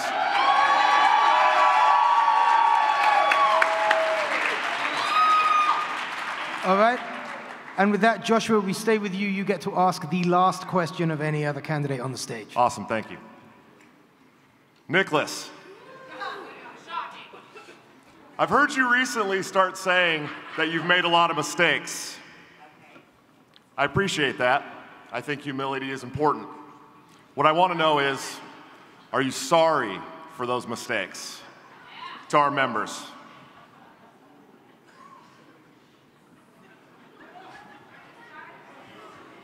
Go ahead, Nick. I wanted to be chair of this party because I have four children in the back of this room and a beautiful wife who I want to grow up in a world that's more free than the one I grew up in. I've taken away thousands of dollars and countless hours from my family and from my work in order to lead this party. And so everything that I have done that has been less than as good as it could be to build up this party is something I'm sorry for. Every missed opportunity is something I'm sorry for. Every time that I have not been good enough for you and I've let you down, it's something I'm sorry for. All I can do is my best. And if you elect me chair again, I will continue to do my best. And if that's not good enough, then you should elect someone else.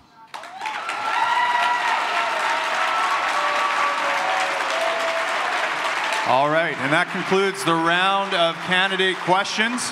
We now move on to the final round, two minute closing statements. And so we're going to start with Matt. Go ahead and give your two minute closing statement, please. So, one group I haven't talked about here much that I'm here to represent is the Audacious Caucus. What the Audacious Caucus has done, and is what we did in the Libertarians of Macomb County, is that we accept our differences. We can agree to disagree in certain areas, and we actually drafted language to ensure that those who are libertarian, whether left or right, have a place in this party. And we get things done. We get work done. What the Audacious is doing is we reject respectability politics. That is our number one issue. That is the one thing we all agree on. We don't want to be just standard politicians. We don't want to pretend that we're professionals at this because we aren't. Most of us are not elected officials. We are individuals. And we are proud of our individualism. And we promote our individualism. And we encourage each member to be an individual. And this is an individualist party. So when you see Audacious getting attacked, and sometimes, you know, we do attack back, uh, I think we need to mend this divide. I think we need to understand that we are, we, we deserve a seat at the table. Uh, the Libertarian Socialist Caucus and the Libertarian Party Audacious Caucus, we aren't looking to take over. And if we do take over, it's because we're better at messaging. So, and what we are doing is igniting the youth. We, we are fun, we are exciting, we're funny, we, we promote a political party that's unlike any other. And that is what this party needs to be. It needs to be completely different from anything else out there, and it needs to attract everybody. It needs to be fun, it needs to be inclusive, and it needs to be principled. Okay. Thank you, Matt. So it's over to you, Christopher, for your two minute closing statement. Thank you very much, Mr. Moderators. It's been uh, entertaining, shall we say. Uh, so, it has been said that freedom is a two edged sword. On one edge, liberty, and the other, responsibility, and both edges are exceedingly sharp. The best steel is forged with an even flame. My answers have not popped. They haven't elicited uh, you know, items being thrown at the stage and whatnot. But what I do have to bring to the table is a track record of success. I know what it takes to actually get the nuts and bolts of electoral politics to be successful. I think we have a candidate here who is a, is a good visionary and a great cheerleader. And I think we have a candidate here who is an excellent administrator and parliamentarian. I would like to put forth to you that I'm the best of both worlds. I am here because I know I can do this job. I wouldn't have thrown my hat in the ring at the last minute, and admittedly, it was the last minute. But the reason I did is because I just don't see the other candidates on this stage being able to do both. It is time that the Libertarian Party makes a change because we must grow. From where we are. It's been said, of course, the definition of insanity is doing the same thing over and over again. It is time for something new. And that new should be someone with the track record and ability to actually get things done. I've been going to LNC meetings since 2009. I have seen LNC boards come and go. I've seen the good, the bad, and the ugly. I know the actual sausage making when it comes to those board meetings, okay? And I have the ability to espouse a libertarian principled message on the national stage. I've done it before with four different libertarian presidential campaigns. I'm asking for your vote for me, once again, to uh, see, I knew this thing would come in handy. I am asking for your vote, once again, to elect somebody to the position of Libertarian National Chair who is able to both get things done and be that cheerleader to ensure, once again, our candidates and our activists have the best possible chance to get libertarians elected. It is the only way to change the paradigm of politics in this country. And we must get down to the business of actually electing libertarians. Thank you very much. All right, thank you, Christopher. Joshua, you have two minutes to close. Thank you guys so much for listening to this great debate. It's been hilarious and awesome and fun. I don't necessarily agree with Mr. Thrasher here. I believe that we need a visionary. I don't think we need an operator. We have parliamentarians, we have administrators. That's what those people do. We need someone with a strong vision and strong ideas to move this party forward. I've committed very hard I've started building coalitions already. I've started working on a policy team. I've started getting people together in this party that can do things like raising $280,000 for Jeff Hewitt in a city or a county supervisor race in Southern California, ready to start raising money for a national party that needs to operate on more than $1.5 million. I've started putting together a real marketing team. Several of those people who have committed are sitting in this room. At the end of the day, I'm a blue collar American human, and I've struggled. I have. Some of these people like to bring my struggles up in front of all of you. But I've seen the state put their hand on myself and many other people in this country. And I know that this party is the absolute best venue to push back.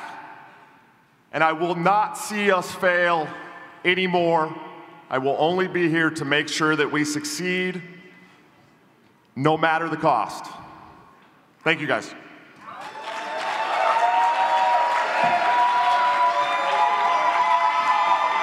And for the final statement of the evening, over to you, Nick. When I started as chair in 2014, I was already at my eighth national convention. I've been in this party for a long time and watched a lot of things not get done well, get done okay. Some things were successful, but there was stagnation. Over the last four years, we've had more elected officials switch to the Libertarian Party than ever before.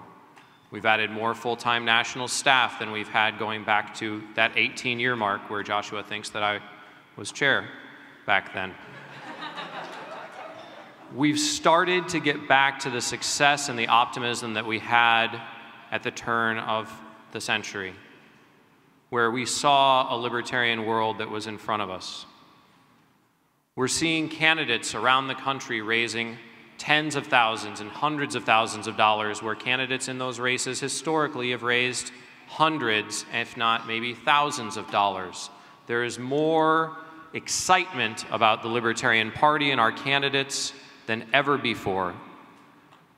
We have turned a corner and we are rising to the next level. And the way we are doing that is we are focusing not on personalities, not on fighting with other libertarians, not on arguments over ideology, but going out and doing the work to raise hundreds of thousands of dollars to get ballot access in all 50 states to put candidates on the ballot so a voter doesn't have to go into the booth and have a wasted vote.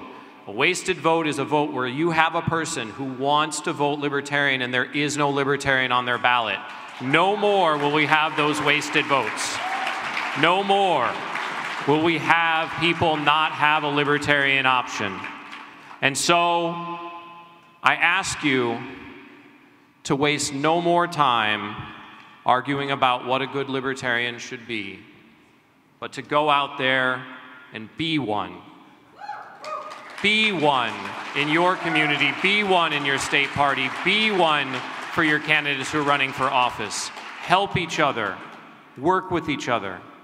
I would be honored to be your chair again if you will have me. Thank you so much. All right, ladies and gentlemen, let's hear it for all four candidates.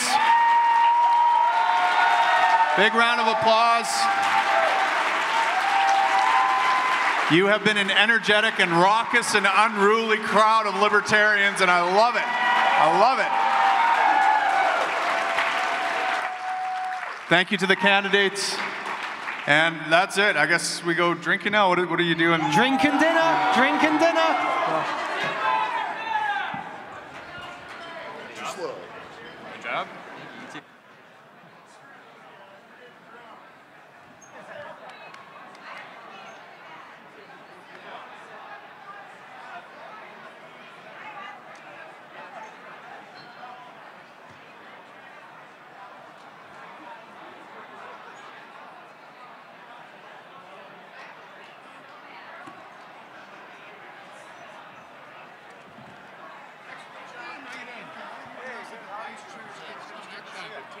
The vice chair debate in 15 minutes.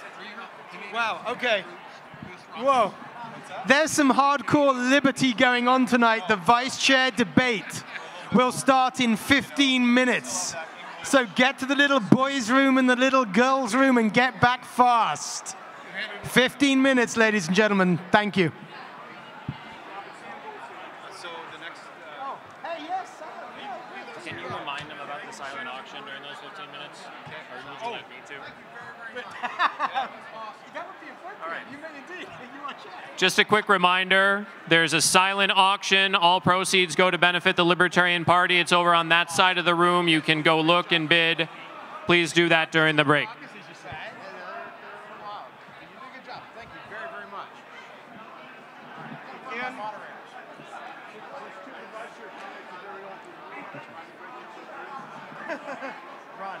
A- another reminder for anybody that is going to the gala tomorrow. Uh, Mel with tuxedos to go will be back about nine o'clock. If you didn't get your tuxedo yet for that fantastic deal for 169 bucks, altered everything but the shoes and socks. He'll be there tomorrow at nine. They're going to get him altered and back to your readers' reviews at tuxedos to go. Get one, great deal.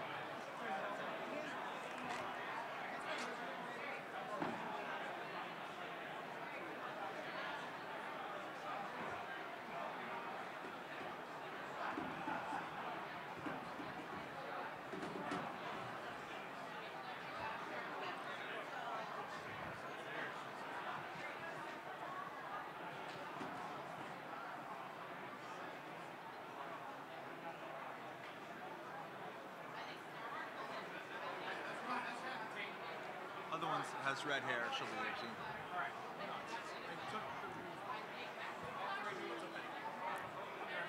Do you question? Do you have questions already? This is the same stack. Some of them are specifically labeled for question. Yes. So choose what you want. Okay. There's lots of them. Oh. Check, mic check, mic check, mic check, check one, two. Check one, two. I sound good. I just did. Yes. Yes.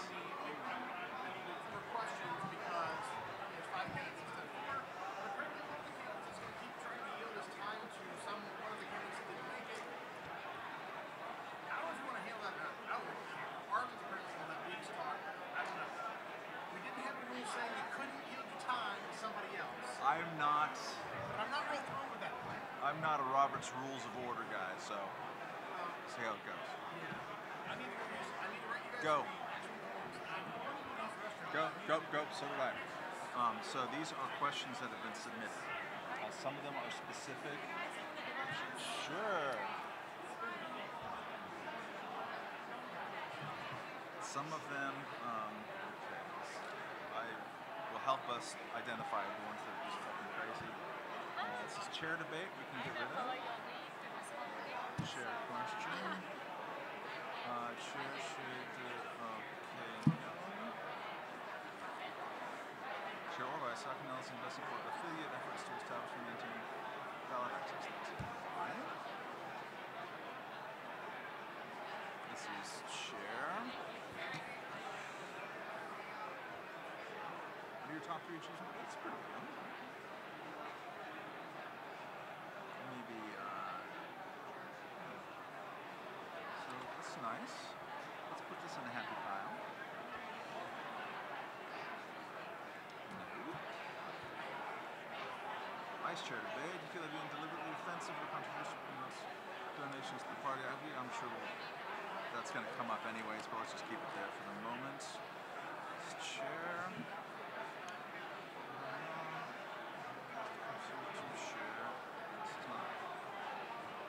I mean, vice chair does have to do some yes. Jesus Christ, tell me that before I start the. Well, I was, I was, that's why when I realized, it's like, who's talking? Is that a radio? Thank you. Jesus, turn to my tongue. Um, moderator question. Yes. Am I allowed to yield my time to somebody else? Uh, I heard this came up. What's your plan? My plan is I was going to ask about just give half my time to the improvement, please. Half? I might take the sense of the room. Okay. I'm not a parliamentarian. Um, so, uh, yeah, I'll, I'll try to get a sense of the room. Maybe uh, it might, I mean, the gesture half is really nice. Functionally, be kind of a pain in the ass, probably. Um, so, uh, a, a compromise that might be arrival after the gesture is offered um, is to have him take your take some bit of time. Okay. Okay, like give me the opening or something like that? Something like that, yeah, yeah. Um, but, uh, but ask it live. Okay. Yeah.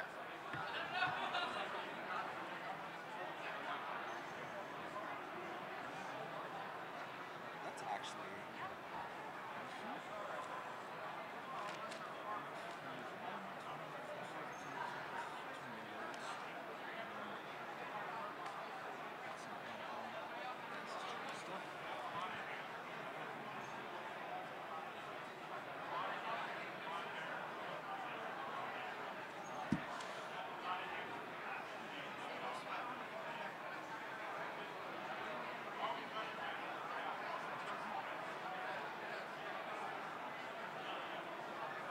Yeah, this is the same thing as.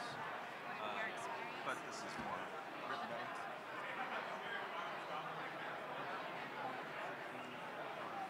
Oh, no, we, we're going to keep that over there, and it's going to be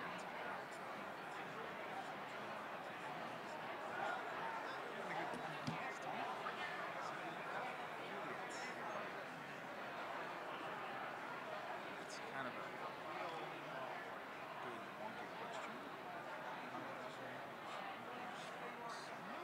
Vice chair. Oh wow, lots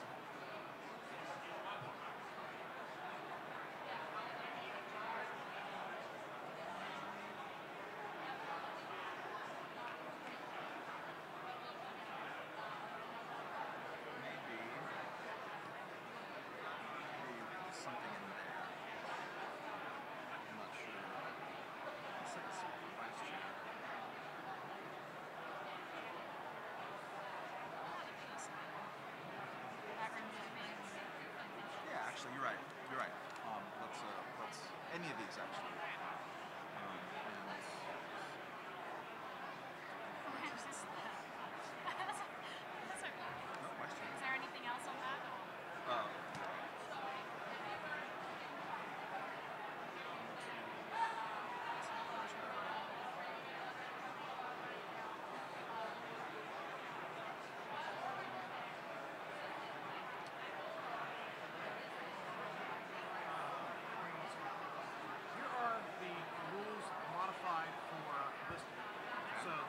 Order that the people receive their tokens, so they get to choose their speaking order. They will probably be in the reverse of this if they're smart. Um, each one gets a two-minute open.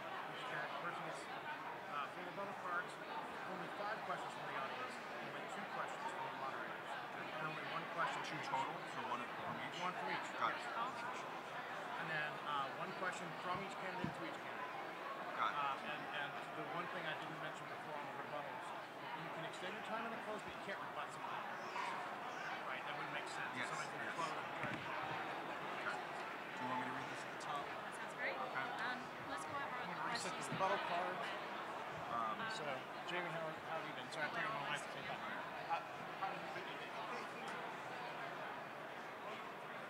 Something that interesting. Um, so, there's, there's five peers in the audience. So, five-ish or more things here. Whatever. This is we- did that one.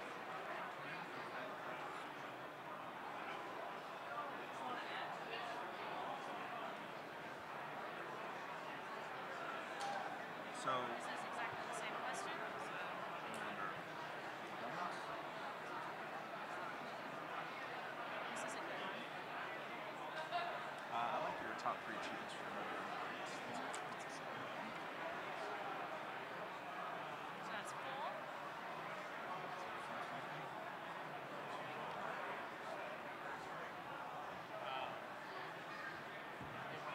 And these are both affiliate questions.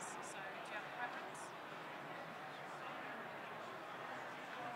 Um, we got four already. Yeah. So we're doing a fifth. Um,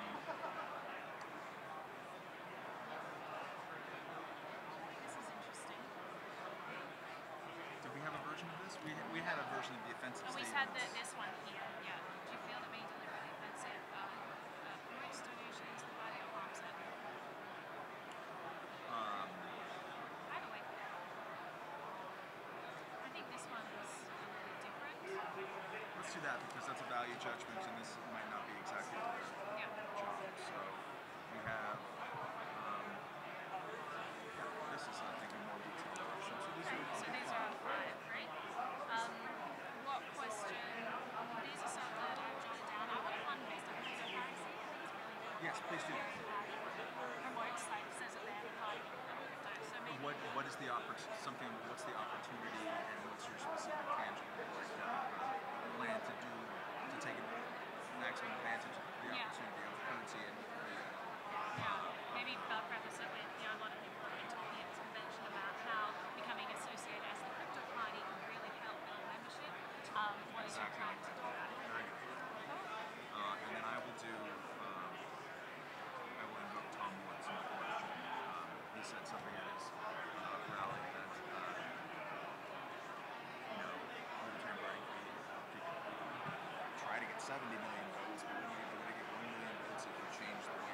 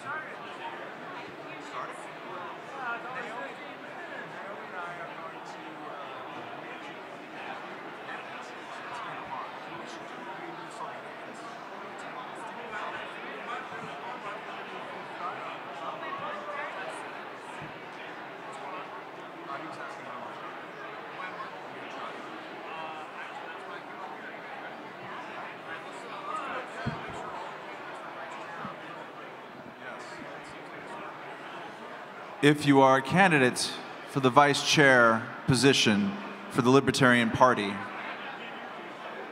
could you head in the general direction of the stage, please? And if you're qualified to participate by engaging in some tokens. Hey, hi.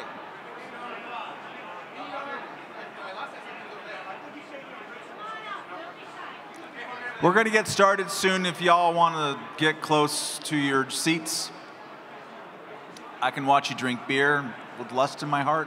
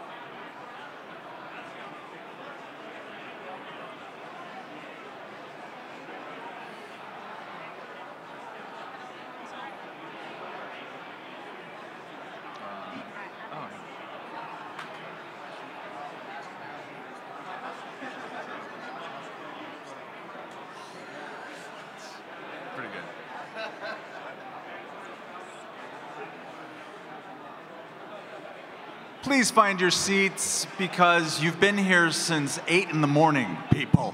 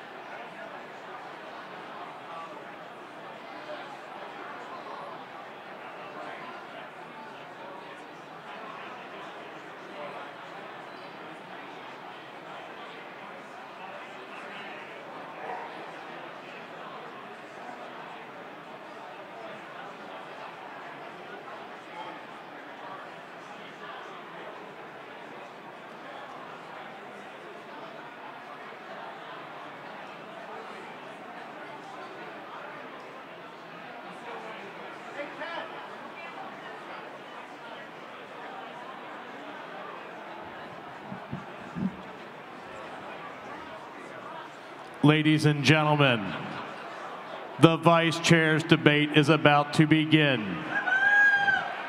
If you are having a conversation you would like to continue, I would like to invite you to do so about 40 feet that way. Otherwise, I would invite you to sit down and enjoy the next hour and a half or so of debate. Tell your friends. Actually, what you may want to do is, what- so one thing they did before that I thought would have made it easier on them is if you call them up one by one and have them sit at the podium you want for whatever's first to last, whatever order you want up here, then you can make sure they're in the right place. Right. But the thing is, so the token order means they get to choose what position they're in. So Merced is going to, when you call him up, he can choose to be first, second, third, fourth, or fifth. That's where you just put a number next to him. But anyways, so Call up Merced first, ask him what position he wants, and then ask him to take whatever podium you want to be the last. Uh, or not. I mean, it's up to you. Okay. Okay. However you want to do it, I'm cool. This part is the part I don't care about. so. Please find a seat, people.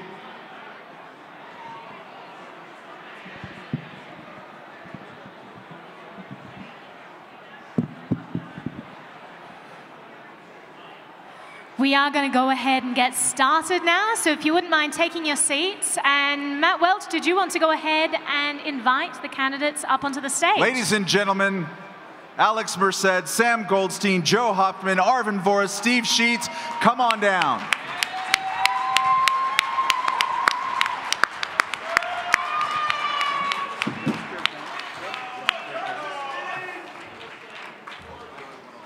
As you find your seats, I'm going to remind everyone and the candidates of the rules, which sound impossibly complex but seem to kind of work last time. They're slightly modified because we have five gentlemen up here.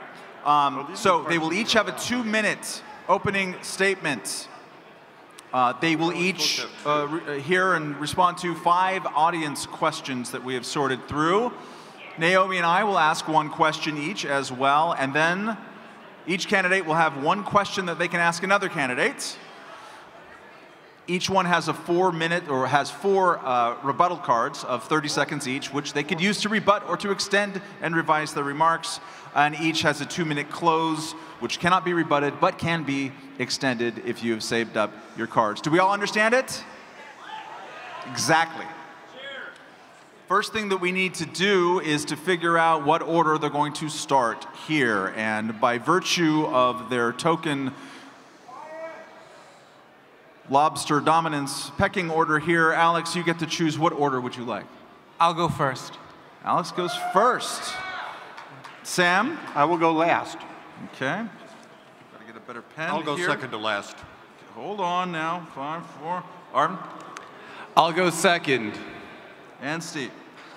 Are you serious? it's a test. Okay. You go third. Uh, yeah, that might be best. Can you switch podiums? yeah, so Alex, Okay. Arvin, Steve, It's like, it's like musical podiums. You probably want this. Nice. Arvin? We're going to ask you to do that again later just for our own amusement. All right. Alex Merced, two minutes is yours. Hey, everybody. My name is Alex Merced, and I'm running to be the next vice chair of the Libertarian National Committee. In the last debate, Nick Sarwark said that he was running to be the least important person in the Libertarian Party. He was Oh. wrong. Hold on, I'm hold running to be the least important part, person in the Libertarian Party. And now, What? Uh, audio's dead. Hold on, hold on, hold Oh, on. okay. Hold on. Can we fix that speaker? Really? hello, hello, check, check. Is that better? It's better. All right. Okay, we good? Okay. So should I start over? Start over. No, it's, it's out again. Oh, I'm I out again? We're good, good, good. Check, check, check. One, check two. No, can't hear me? Yeah, the echo one.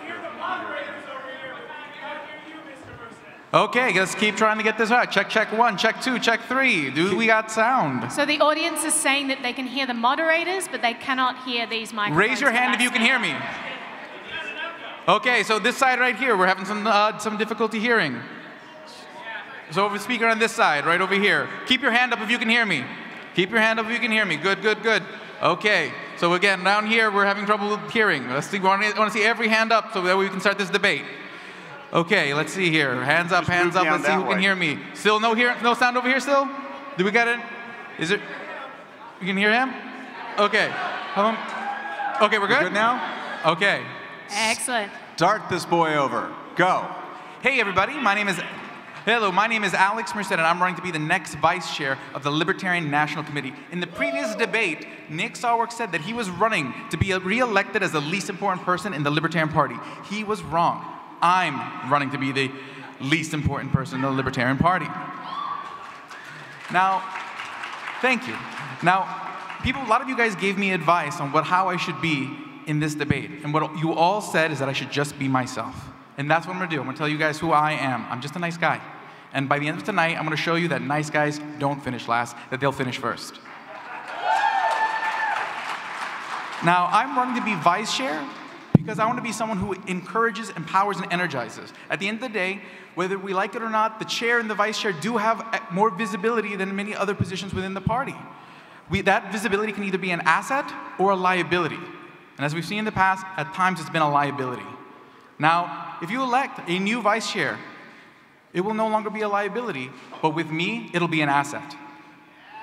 Okay? Because I'm going to be aggressively using multi- multimedia ways to communicate, to make sure that people know what the LNC is doing. The LNC is doing a lot of great work. The last two years, the last four years, they've done a lot of great things, but a lot of times people aren't aware. They don't have that connection with national. And if people don't have that connection, if they're not aware of what's going on, they don't renew. And if they don't renew their membership, or we don't get new memberships, that means there's less resources to build the infrastructure to do what we all want get libertarians elected, make libertarian change, have a more libertarian world. So I'm going to be out there to be the cheerleader of the Libertarian Party, to make sure that people know who's doing amazing jobs, because I want people knowing who the candidates are. I want the voice to always be in the candidates. I don't want to be a distraction from candidates. I want to be a megaphone for candidates, so people know who the candidates are, and people in Massachusetts hear from the Massachusetts candidates, because I don't know what a Massachusetts person wants. Massachusetts candidates know what a Massachusetts person wants, and that's what I'm going to be doing. Outreach to get new people in, inreach to keep people in. Okay? Mr. Moderator, I have a question. Yes, sir. Am I allowed to cede some of my time to another person? No.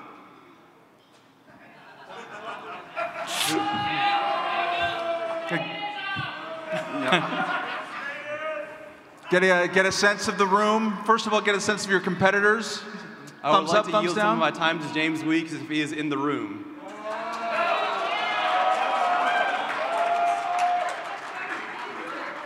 I'm hearing that is not the will of the delegates, and since I am the captain of this ship right now, apparently, what's wrong with you people? Um, as much as I would like to see James Weeks speak, it doesn't sound like that the delegates want it. Go forth, Arvin Vohra.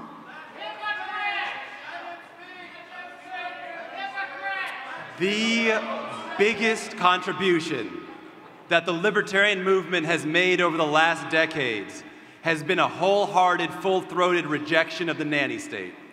Because we have philosophically rejected the nanny state, because we have boldly gone out there and said to end the drug war, because we wear legalized cocaine buttons in areas that are not ready for that message, we have inspired people to reject the nanny state. And because of that, policy is changing. We have changed hearts and minds, not pandered to them, changed hearts and minds. And because of that, today, we have marijuana being legalized, which was unthinkable when Ron Paul was first talking about that. We have right to try laws that are getting passed. We are rejecting the nanny state. And now I believe it is time for the libertarian movement to take the next step, and that is to completely and thoroughly reject the welfare state. Right now, I saw you guys, I saw, I saw this room booing when Matt Kuehnel talked about Medicare for all, and I agree. I don't want Medicare for all. I disagree with that position. But when I go from one state to another and hear people that support government schools for all, I have no choice but to see a huge hypocritical divide in our movement. And I will be the vice chair that's going to go everywhere and talk about the ideas that people aren't ready for yet so that I can pave the way and help you pave the way to make them ready for those ideas in the future. I will be talking about abolishing government schools with people who aren't ready to hear it. I will be talking about legalizing automatic weapons in front of crowds that are trying to ban all guns. I have already done that many times. I will be the person who's going in the media saying things that are bold and exciting enough to be retweeted by, by organizations like WikiLeaks. And I've done that too. If you re-elect me vice chair, I will push the boundaries in every way possible.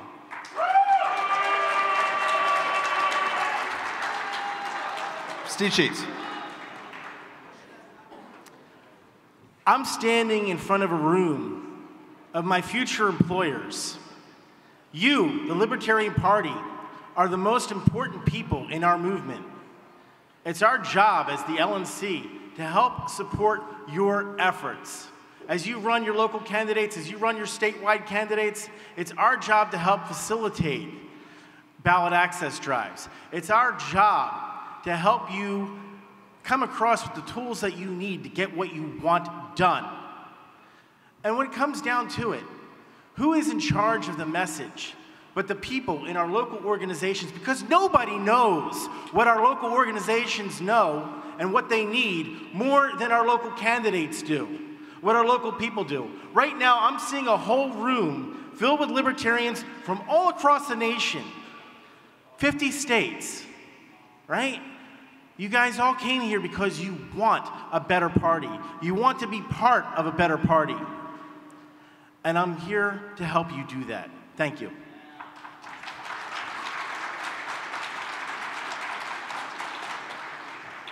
Joe Hauptman. My name is Joe Hauptman. I first got involved in the libertarian movement back in the 70s. He talks about legalizing drugs. The party was around before the drug war. When I went to college at Michigan State, marijuana was a parking ticket. Okay, you basically wrote a ticket and you pay, mailed in your fine. Okay, yes, we've made progress, but it's not just because of our radical position. For 40 years, we've been saying it's all or nothing, and we've gotten exactly what we've demanded nothing. I, my first campaign was with Ed Clark in 1979 when I called the national headquarters and said, Who's running the petition drive in Indiana? And they said, Funny you should ask. And then I said, I need help from the state party. Who's in charge? And they said, Funny you should ask. And I got to pick up the Treasury, and as a young lawyer, got to basically quelch the bench warrants for our treasurer who didn't believe in filing government forms as a matter of principle. I've been through all of those stages. I was in the party when the people showed up at my house and said, This is the first time I've been in a room full of libertarians where I wasn't alone. I was there when we grew. I was there when we had 32,000 members in this party, when we had a budget of $3.8 million. I was there when we went down. I've been state chair three times. I bring institutional memory. What will we do with it? That is up to the chair. The chair decides my use. I want to bring this knowledge and make that available to whoever is the next chair.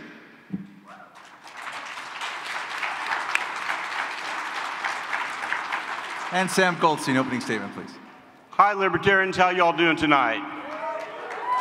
I want to welcome you to the convention. I'm on the convention oversight committee. We've been working on this thing for 18 months now, and I think that uh, our gang has done a great job putting this together. You guys are going to have a good time if you haven't already, and we're going to elect new officers tomorrow for the party for the next two years, leading up to the Austin meeting in um, Labor, uh, Memorial Day weekend 2020. I've been doing this for almost 20 years, not quite as long as my esteemed colleague from Indiana, um, but I've had a concentrated amount of experience, and let me tell you why I'm doing it. Um, I have two grandchildren. One is two and one is four. And my four-year-old grandchild apparently listens to me because when we walk through the neighborhood and he looks down in a sewer grate and he says, Grandpa, I scared Republicans, Democrats down there. he's, he's been listening because he knows who the threat is to us. You guys need to get along better, and we need to get along better. We are not the enemy. The enemy is those people out there that dip into your paychecks, dip into your houses, dip into your gun lockers, or attempt to. Those people are the enemy of the Libertarian Party and of freedom everywhere. And the way we do that in the Libertarian Party, because we're a political party, is to get people elected. I'll explain a little bit more about my experience a little bit later, but I was state chair of Indiana for two terms when we ran hundreds of candidates for public office. I have also run for public office myself eight times in Indiana. I've managed campaigns at all levels, and I've served on the LNC now for four terms. I've got a lot of experience, probably the most at the national level in any of the candidates up here.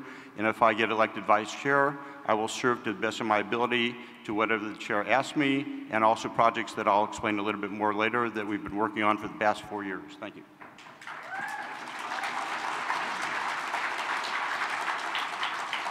We now move on to our audience questions. The first question, and we will begin with Arvin Vohra. Do you feel that being deliberately offensive or controversial promotes donations to the party or harms it? That's a good question.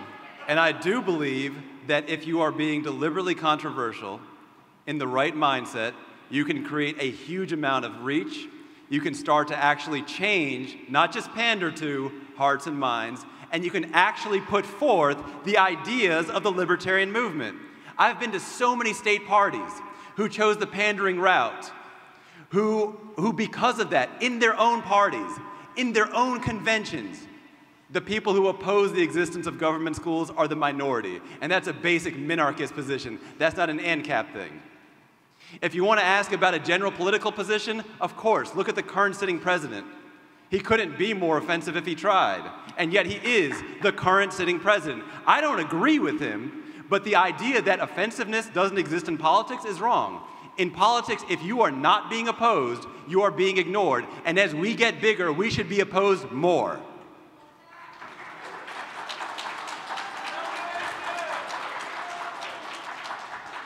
Steve Sheets. I said this before earlier today, just because we've done something for a long, long time doesn't mean we need to keep doing it.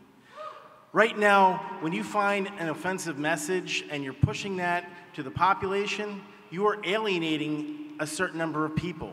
People who are new to the party, people who haven't really digested libertarianism altogether. Yet when they see this offensive message, saying, why am I going to be part of this group? They're really completely unprofessional. I don't want to have completely unprofessional messaging. I want to help our candidates develop a clear, concise, consistent professional message. We can be edgy, but we don't have to be obnoxious.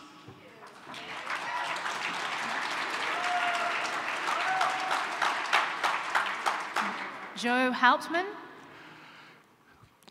I honestly get a feeling sometimes when I hear talks about edgy approaches, I feel like saying, been there, done that, already gave the shirt to Goodwill.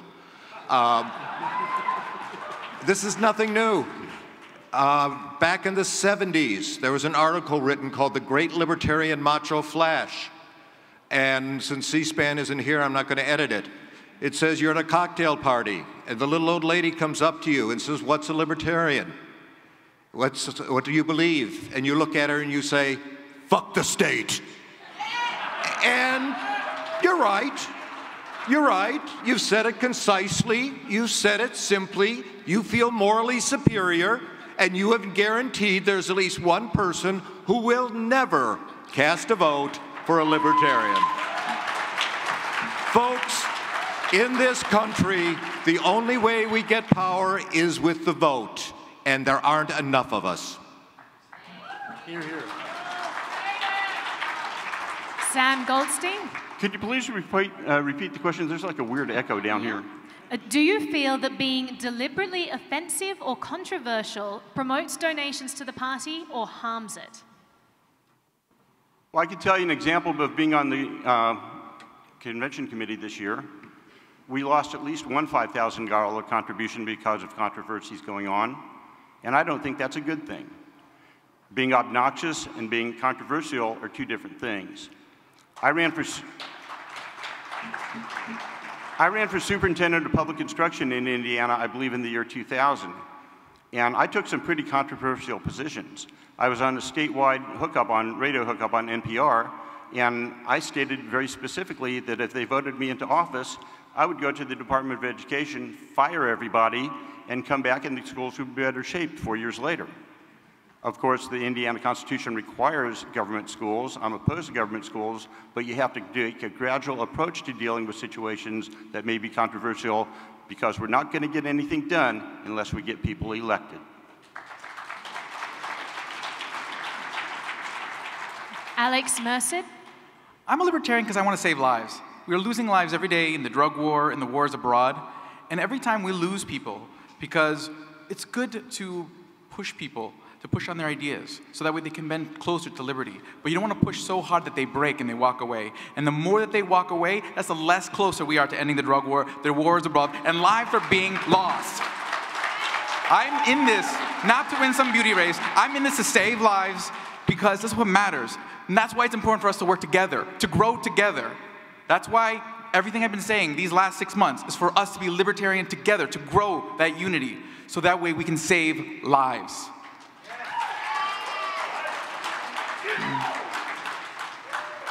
Next audience question, uh, starting with Steve Sheets. Uh, what is current leadership doing well? And what would you try to continue that current leadership is doing? The ballot access drives that the LNC has been doing has been actually spectacular. The fundraising headed up by Lauren Doherty has been absolutely spectacular. Seriously. I was gratified at the LNC meeting yesterday when we were in executive session going over Lauren Doherty's contract, and we actually agreed that yes, this is a good thing, let's make her a permanent source of income for the Libertarian Party. That's a good thing. That's a really good thing. I'd suggest that the best thing that the LNC can do, the best thing that the Libertarian Party can do, is help candidates, help candidates achieve ballot access. And one of the, one of the projects I want to do is help develop that clear, concise, consistent professional message through a mentorship program with experienced candidates and novice candidates coming together. Thank you. Joe Hauptman? I would say what the uh, party has done is actually built the big tent. When we have a party where Adam and Bill can both come here and try to build a base, then that is success. We, if you can't deal with opposition where people, with opposition with people that agree with you half the time, or 60, 70% of the time, how in the world do you expect you're going to beat the opposition out there? Okay? The five of us here, we are opponents. We're going to leave here, and tomorrow, four of us are going to be disappointed. But we're opponents. We're not enemies. The enemy is out there. Okay. Sam Goldstein.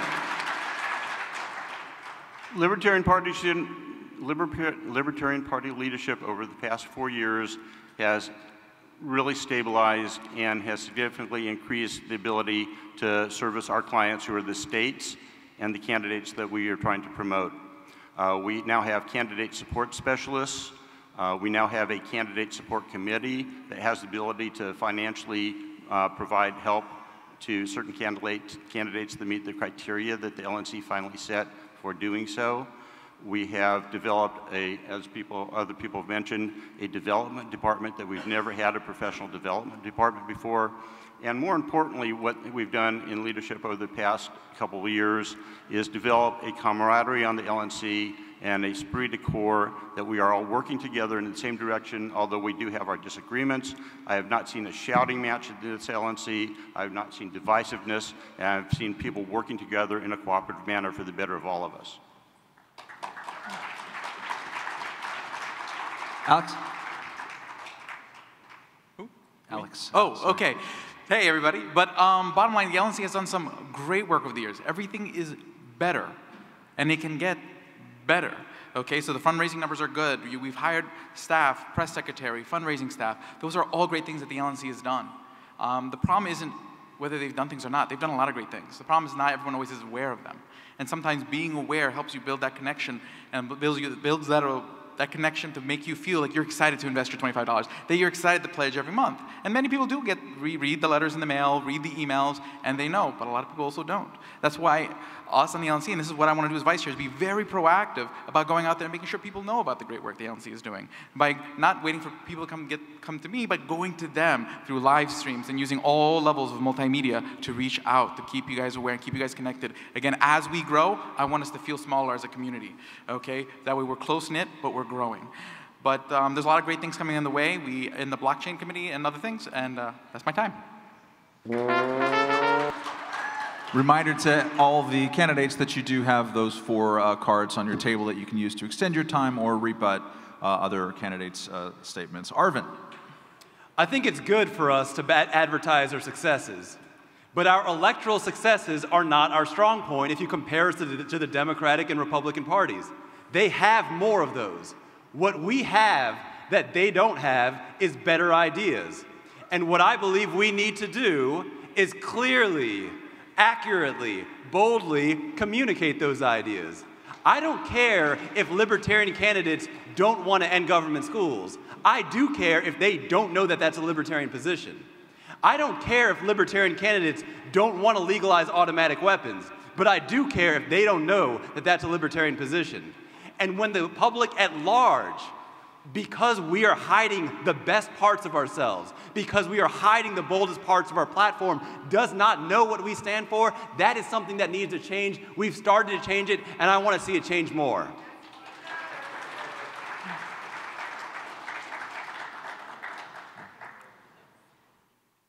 On to our next question.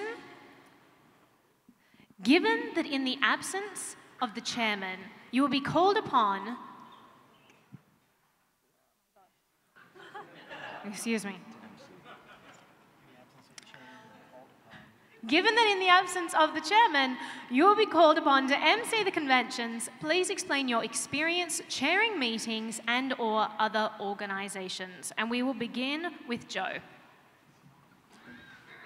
Okay, I have been the chairman of Indiana three times, once in 1979, once in 1998, and again in 2015.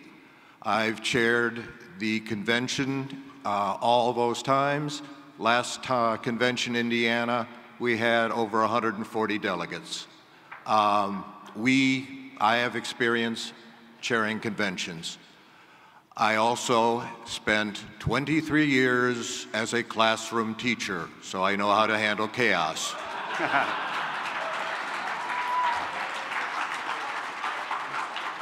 that it? That's it.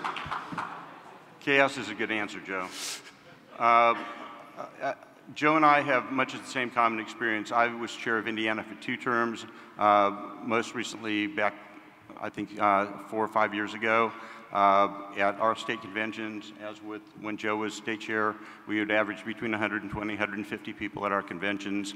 Most of them were done in a very cooperative manner. Uh, the Indiana Party has a lot of heart and soul and usually behaves themselves during a convention, so not quite as contentious sometimes as a national convention. Um, going back even further than that, I was the president of my company in junior achievement, so I was a capitalist way back then, and, uh, and I learned how to run a board meeting very early at that time. Alex. Okay, so I'm certainly the person who probably is the least experienced with Robert's Rules. Let's just get that straight up. But here's the thing when I have a weakness, I work twice as hard to make it my strength. Over the last six months, I've been traveling to many of your state conventions, and I've sat through. I got there early, and I stayed late to your business meetings because I wanted to one absorb the culture of your chair. I mean, of your uh, state because I want to represent you. So I need to know you. I need to know where you're at. I need to know what your problems are. Also, with, right before we started, we had some sound problems. What did I do? I took charge. Made sure that we got that sound fixed by having all raise hands. I take charge of situations. I'm a nice guy, but I'm also the right guy.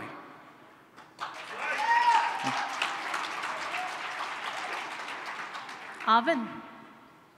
As the one person who's actually done this job before, let me tell you this. The hard part is not chairing meetings. The hard part is when you have five minutes warning to go on international media. The hard part is when somebody important has stepped aside so you get to fill in something that is a higher level than what you've expected. The hard part is when you're looking at a room, 100% of which you're sure opposes libertarian views, but you're hoping that someone in that room is going to respond to your true, honest, and accurate messaging. That's the hard part. Can I run a meeting? Sure. But if you guys are basing the, your vice chair election on who can run the meeting the best, you're making your decision based on the worst possible criteria. The most important thing that the vice chair does is major media outreach. It is hard, it is challenging, and it demands a certain skill set and a lot of dedication. And that is and it demands that you are willing to talk to anyone, anywhere, to convert anyone to real libertarianism. We know that the message of liberty is needed where it's most missing. And Steve. Was the chairman of the Libertarian Party of Pennsylvania for two years? Yes, I've run the meetings, and yes, they went fine. Um, I'm going to agree with Arvin. That's not really the major skill set of the vice chair. The major skill set of the vice chair is filling in when you absolutely have to with very little to no notice. Now, I work in innovation, And there are a lot of times when I have to give a presentation and a sales pitch for a new color that I designed to a marketing group out of Indonesia. You know, and this is something that I'm passionate about. It's something that I love. You know, libertarians. This is the most fun I have every two years because I'm in a room filled with libertarians, right? Know, this is cool. But, you know, doing the job is doing the job. And yes, I can do the job and I will do the job for you. Thank you. Next question starts with Sam Goldstein. What are your top three achievements for the liberty movement? My top three achievements for the liberty movement have probably all been political. Um, while serving as the state chair in Indiana and as county chair in Indianapolis, uh, under my leadership, we've run hundreds of candidates for public office to give the voters in Indiana a true choice on the ballot other than the two old parties. Nothing is more important than running people for office and getting people elected. We could have a debate society and talk online about freedom and, and how wonderful it is. But until we get people elected and start pushing our society in a libertarian uh, uh, direction, then uh, talk is cheap. But actions speak very loud, and getting people elected and getting candidates on the ballot is the most important thing that I could possibly do, and I've done that way more than three times. Alex Brissett. Okay, so couple, couple quick ones is like I'm very proud of my media outreach, and I'm very proud that I've been a, an instructor in the financial industry where I've gotten to teach people libertarian ideas as I teach them financial training. But the thing I'm proudest is my U.S. Senate campaign in 2016. So while I didn't get that many votes, the thing is that we did something tremendous. I did something different.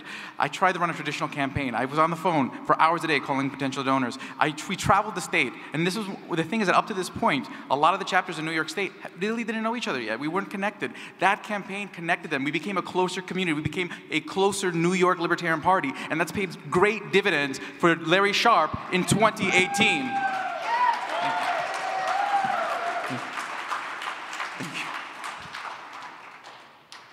If we can remember to keep our uh, inside voices on, Arvin. you can look at my list of accomplishments in the Liberty Movement. It's on my handouts. As a few highlights, I helped grow the Libertarian Party social media teams from a Facebook page of about 20,000 to one of over 700,000. But the biggest outreach that I do as vice chair are these two, three minute interviews that reach a national or international audience with a bold message of liberty. Where anytime there's a commentary on what do I think about Trump's latest thing, I'm able to quickly answer that and also put forth a bold libertarian idea to go with it. That is a nugget of information that's getting out there to literally millions of people. That's the job of the vice chair is to get real libertarian, libertarian ideas out there. Mr. Goldstein suggested that the most important thing we can do is to get people who are nominally libertarians uh, elected. I disagree. The number one thing we need to do is do everything we can to downsize the scope, the size, and the power of government. We got a card. I would like to know, Mr. Vohra, how you plan to doing that in a Republican representative republic without getting people elected.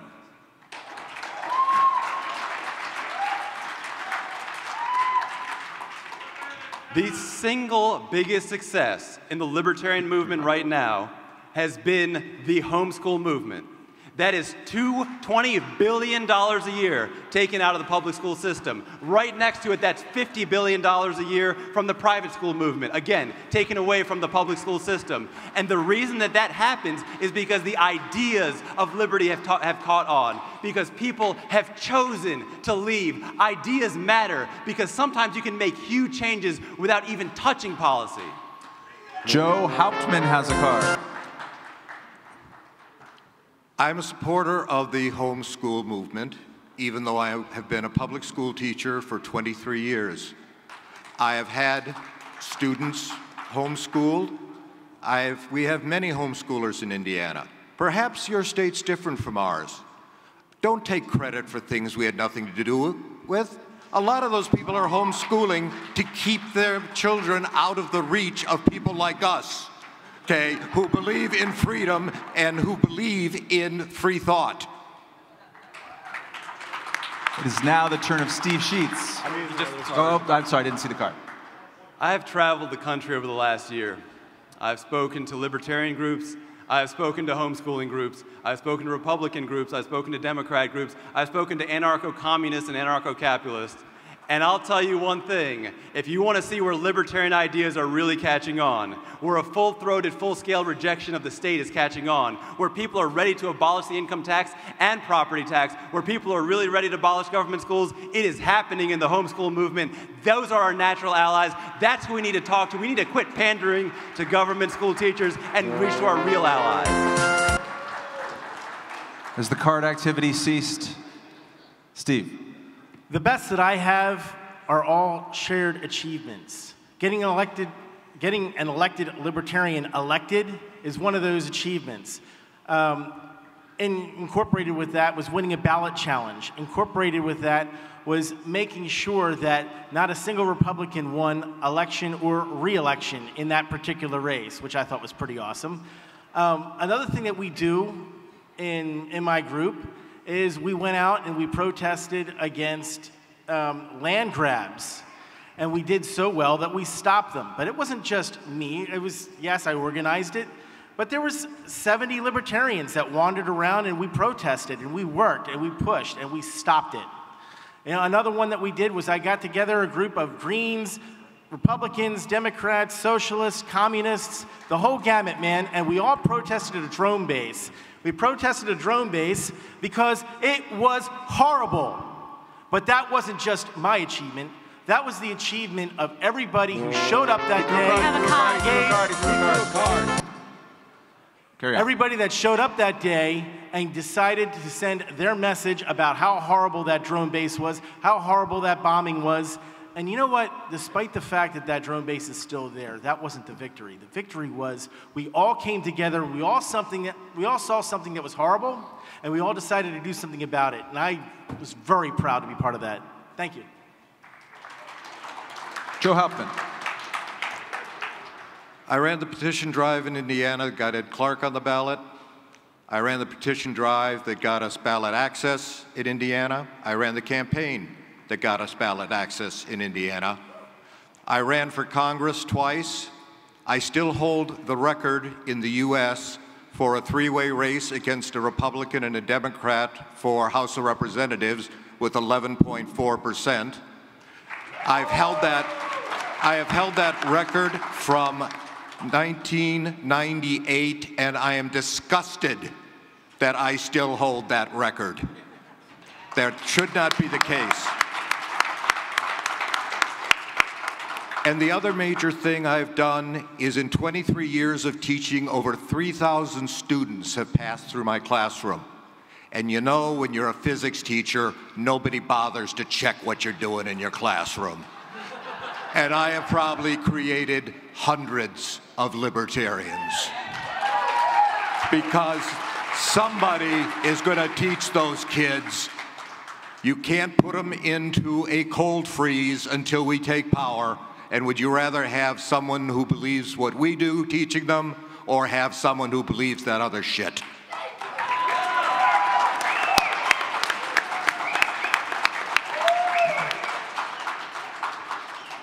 We now move on to our final audience question. What makes a good, effective affiliate, in your opinion? We'll start with Alex Merced. What makes a good effective affiliate is the relationships that the, not only the state, well, the, the whole state has together. Like, I've been to many of your state conventions over the last six months, and I've gotten to build a lot of amazing relationships with a lot of the members across the country and see a lot of amazing teams. And what I see is the biggest thing that drives is that everyone gets to know each other, everyone likes each other. It's those relationships that get people to stay. That's why I stayed. In 2013, after running for New York City Public Advocate, I stayed because I fell in love with the people I was working with. And it's those relationships that help us organize and grow because we want to work with the people that we're with. So it's building those relationships, it's having a team that wants to build those relationships. And that's, kind of, that's the kind of mentality I want to take to national. That I want to build a relationship with all of you. I want to get to know all of you. I want to have a door that's open to all of you. Thank you.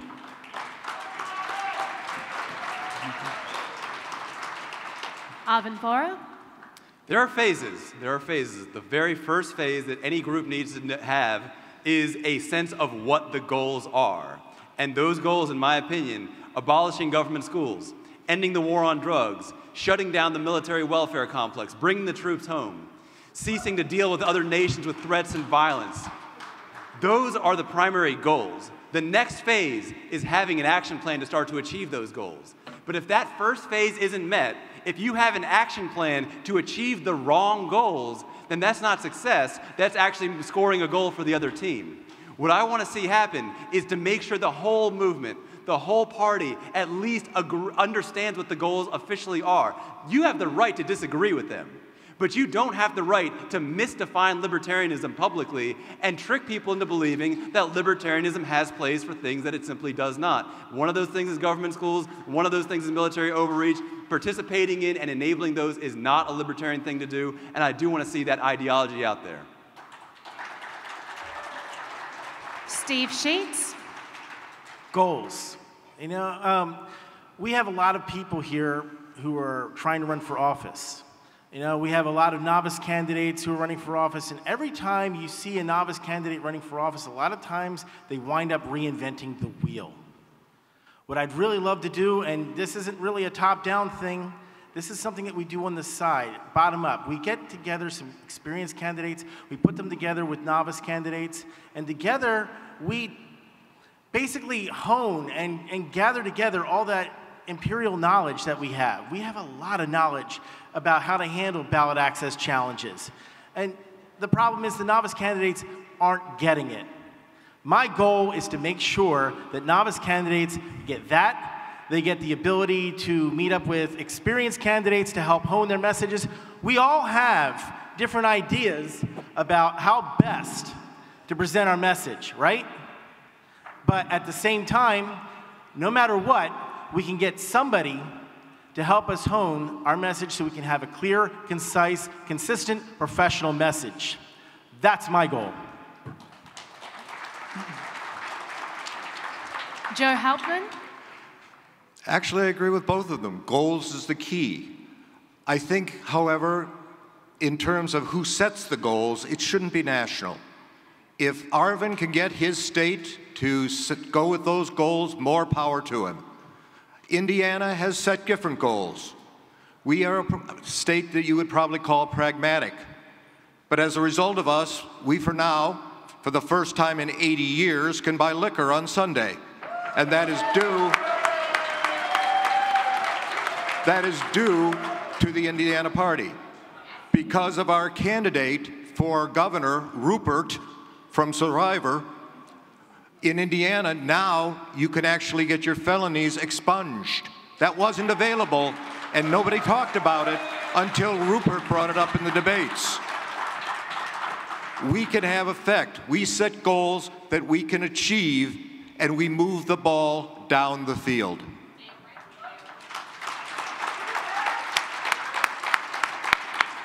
Sam Goldstein. Could you please repeat the question? I'm kind of way down here. What makes a good, effective affiliate, in your opinion? I think I'll answer the question, unlike my opponents. I think an effective affiliate is one that functions on its own entirely with no help whatsoever from the national party. Unfortunately, the ugly truth is those are fairly few and uh, far between right now.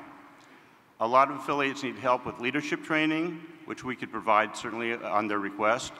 A lot of affiliates need help with financial goals, such as ballot access races and ballot access petitioning drives. We give that money to a lot of affiliates, and my goal there is to have those affiliates become self-sufficient within the next four years.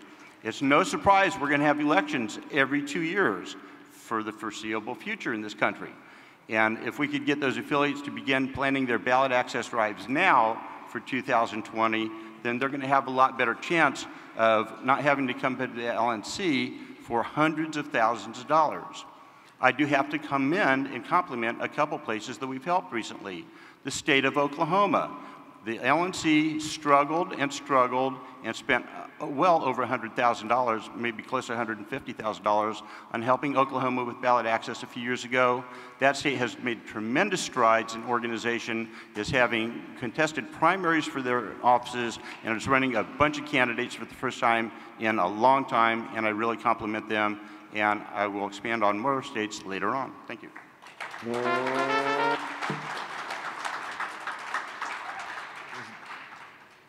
Has Alex answer this question? Yeah. Oh, okay. Um, so then this next moderator question starts with Alex, as my brain is uh, uh, capturing this. Start, this starts with Arvin? Okay. All right. It's complicated. Uh, uh, abacus is over here. This is a moderator question. Uh, Tom Woods said at an event down the street uh, yesterday that the LP could shoot for 70 million votes, but probably won't get there. So it would be better off getting 1 million voters if those 1 million voters have their lives changed in the process. Do you agree with that? Who's, am I starting? Yeah, you Oh, okay. Um, I've often talked about converting people to homeschooling uh, with many of you. And people ask, if you convert one kid to homeschooling, does that really make a difference? And my answer is, it makes a huge difference to that one kid. If we can start to convert people to the real ideas of libertarianism, it makes a huge difference to that one million people. But I'm going to have to reject the premise that Tom Woods put forward. If you actually add up the people who would vote libertarian, who have rejected the state, who have nothing to gain from the state, if you add up all the people who don't use government schools or who don't have children in the first place, if you add up all the people who are not part of the military welfare complex, if you add up all the people who are not part of the government, who see the government as a net loss, we can get 70 million people and explain our actual position and have them buy into what we actually believe. Steve Sheets. Well, I'm also going to say that I don't really like the premise. The idea of 70 voter or 70 million voters is really awesome. But I want 70 million voters who understand why it is they're voting for libertarianism, right? I think everybody can agree with that. The whole point in getting 70 million voters to understand what it is that they're voting for is basically the winning goal, man. When we have someone winning for president of the United States, it's not going to be because that person had a really great message. It's because we already won the war. And if we win that war and we control our messaging, clear, concise, consistent, professional messaging, right? We will win the hearts, we will free the minds of all the people across the United States. That's what I'm looking for. Joe Hauptman. The Economist just wrote an article about the future of democracy. And in it, it quoted a poll that says of Americans under the age of 30, a third do not consider it important to live in a democracy. That scares the shit out of me. We don't have the time to win all of the hearts and minds to perfect libertarianism. We are a party. I'm a science teacher, and that's not a physicist, but I'm a science teacher.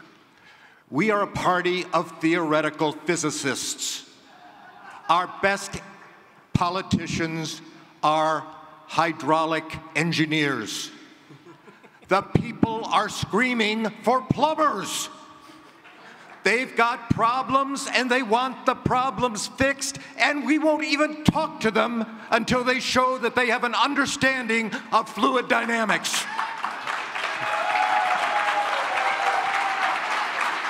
Arvin plays a card. I don't think you need to have a PhD in philosophy to understand that we are about abolishing government schools. I don't think you need a PhD in philosophy to understand legalized cocaine. I don't think you need a PhD in philosophy to understand legalize all automatic weapons. I don't think that libertarianism really demands such a huge and massive intellectual exercise. What we need to do is say what we stand for. And you know what? A lot of people are already there. Not everyone. And some people are going to get there. But we have to let them know where that there is. Right now, we are hiding our message so well that our communicators are believing the lie. We have people who came in believing that there is room for government schools in the Libertarian Party. And now when they go and try to convert people, they're spreading that message not because they're trying to trick anybody, because we tricked them first and they weren't in on the secret. So I completely reject the idea that we need to have a that we need to have people do something so difficult to understand libertarianism. Steve Sheets plays a card. Freedom. Being in control of your own life. These are not complex ideas. I agree with Arvin. Um, I don't believe it takes rocket science to portray libertarianism to people, and I don't believe that we demand that people understand rocket science to understand that being in control of their own lives, their own finances, their own children's education is important. All of this stuff is important, and it's simple. It's very easy for people to grasp, and we need to talk to them in their language. And Joe Hauptman plays a card.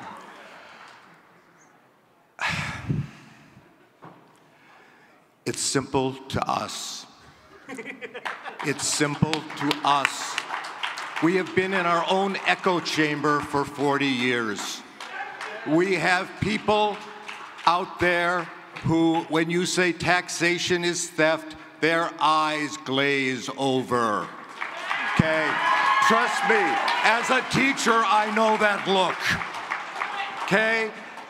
What happens is you have you cannot take a person who has spent their entire life. You cannot oh. take a person.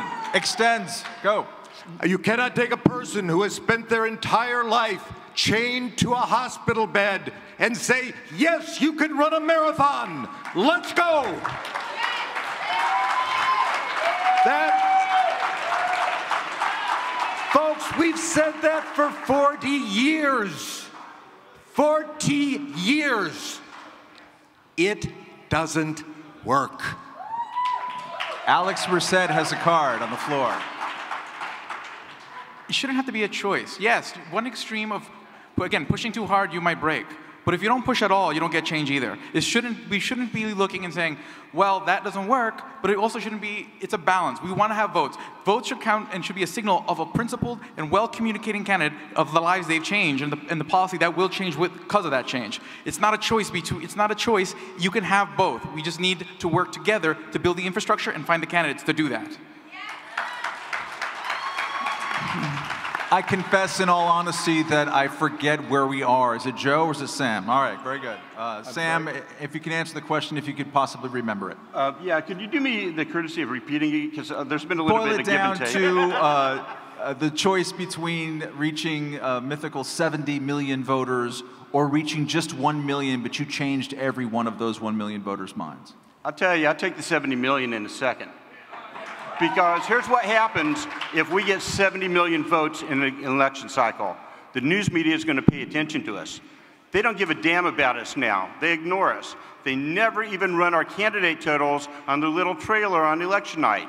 If we get 70 million votes, they're going to wake up.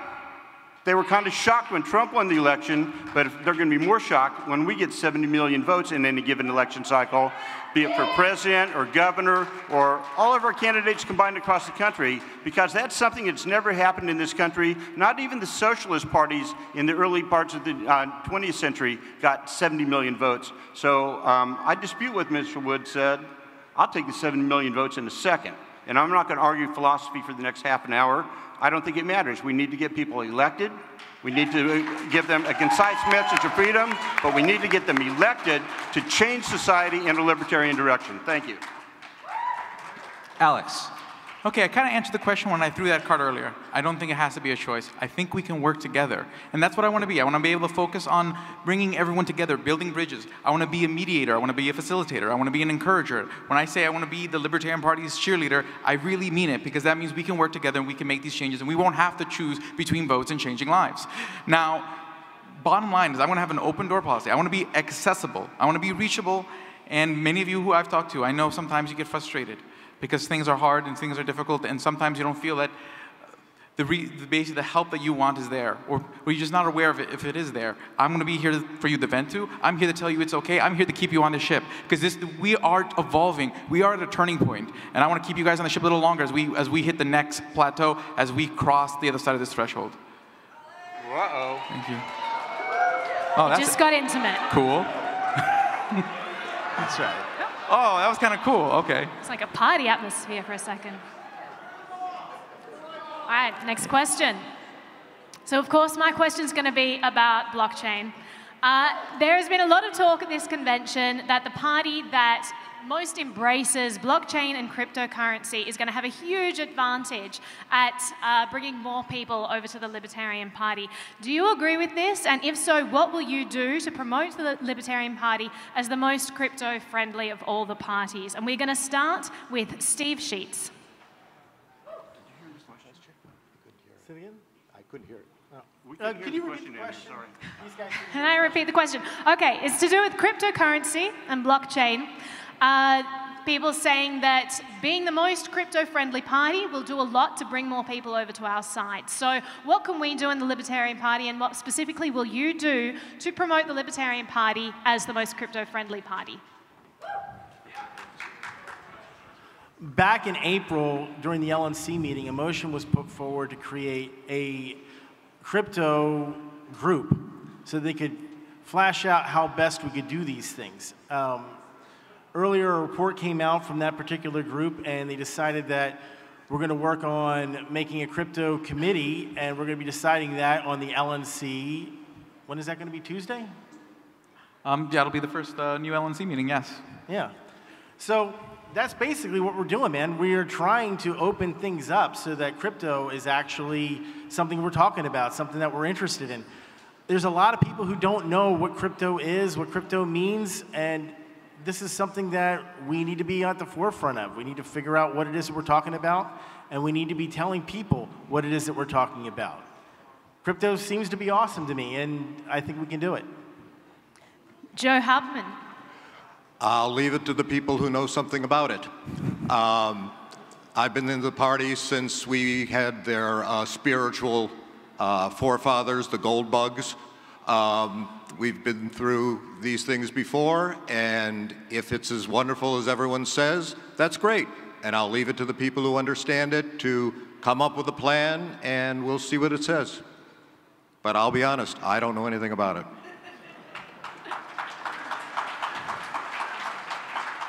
Sam Goldstein. I- I think we have the old geezer caucus down at this end of the. Uh,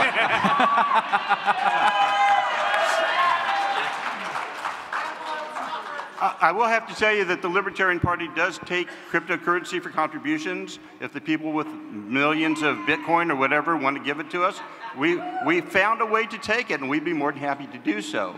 Um, when the original crypto, or pardon me, the blockchain committee was, uh, the proposal was made at the meeting in Denver, um, I was primarily opposed to it because it didn't make any sense. The people that proposed the uh, motion may very well have known a lot about cryptocurrency and about blockchain and technology, but they didn't know how to put together a proposal that would tell us what they wanted to do, how it was going to affect the party, and how it would benefit the party.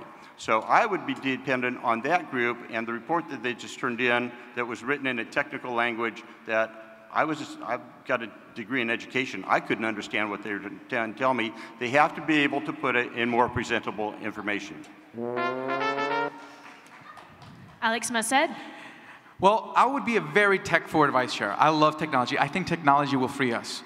And that's why I want to keep government away from technology, so that way technology can develop, the free market can develop, and provide those tools for people to empower themselves. And blockchain is one of them, 3D printing is one of them, the sharing economy is another. And I want to protect all of them from regulation, taxation, and all those things. Now, I'm on the blockchain committee, and one of the thing, one of the projects that we proposed was creating a compliance guide for candidates, because a lot of candidates would like to accept crypto donations. It's an easy way, one, to fundraise, but two, also to build connections with the blockchain community, which could be possible funders. So if we can renew the blockchain committee, um, we will produce a compliance guide that can help people in any state find out how they can accept crypto. And that small difference can be an outreach tool and a fundraising tool, and again, can show us that we're the tech party of technology and get all those techno entrepreneurs of all aspects of technology on our side.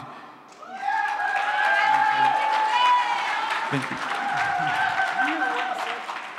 Arvin Vohra? Video's in favor of it. I made the original motion to have that committee created. I, I 100% support it. Blockchain, cryptocurrency, Bitcoin, Dash, Monero, those are all homeschooling for currency. Those are opting out of the state mandated currency to create something better. And I 100% support it. It is our way to opt out of the state run currency. If you look at the successes of our movement, we have individual choice. That's people opting out of things like government schools. We have policy that's legalizing marijuana in Colorado.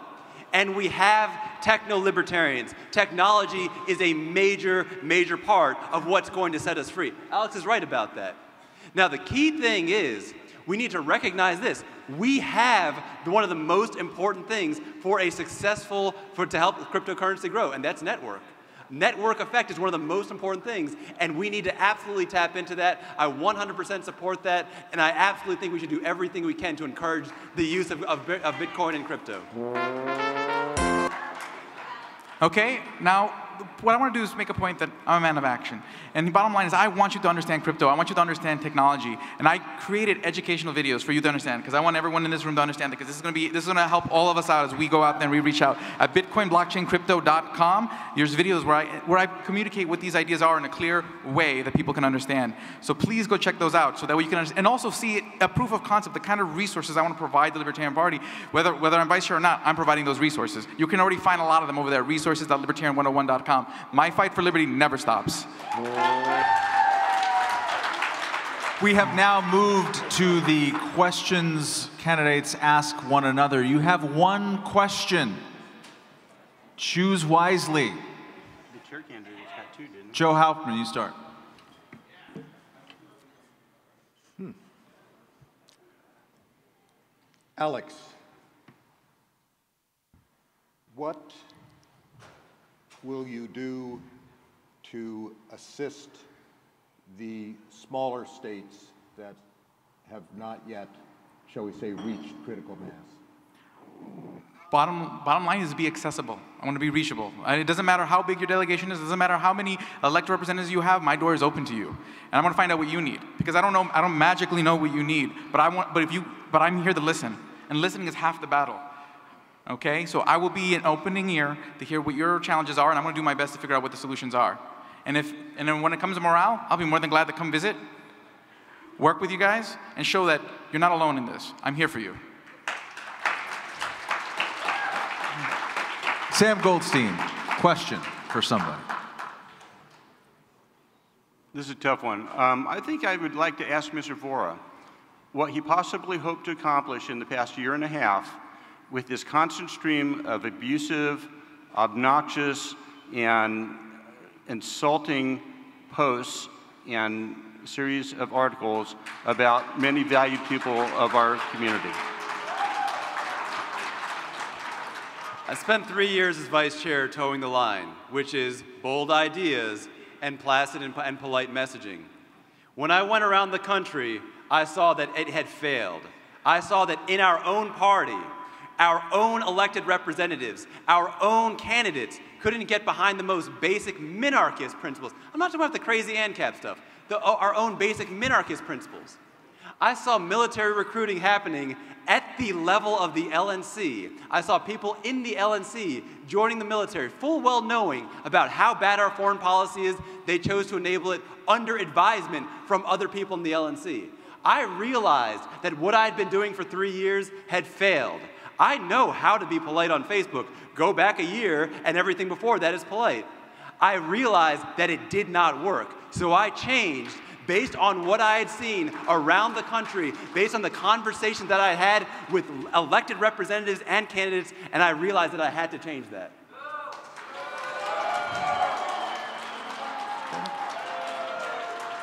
Alex Merced, you have a question. Hmm. Steve. Yes, sir. How was your day today?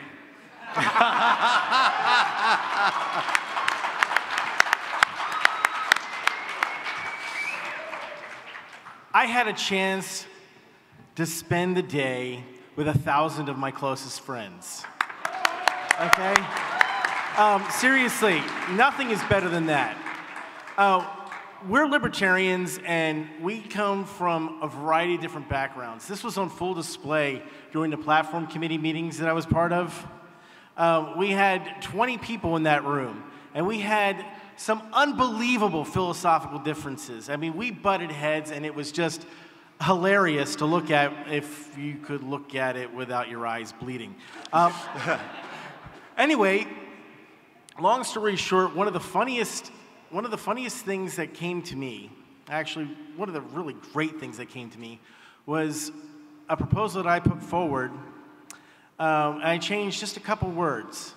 I changed something I went from people should be free to people are inherently free.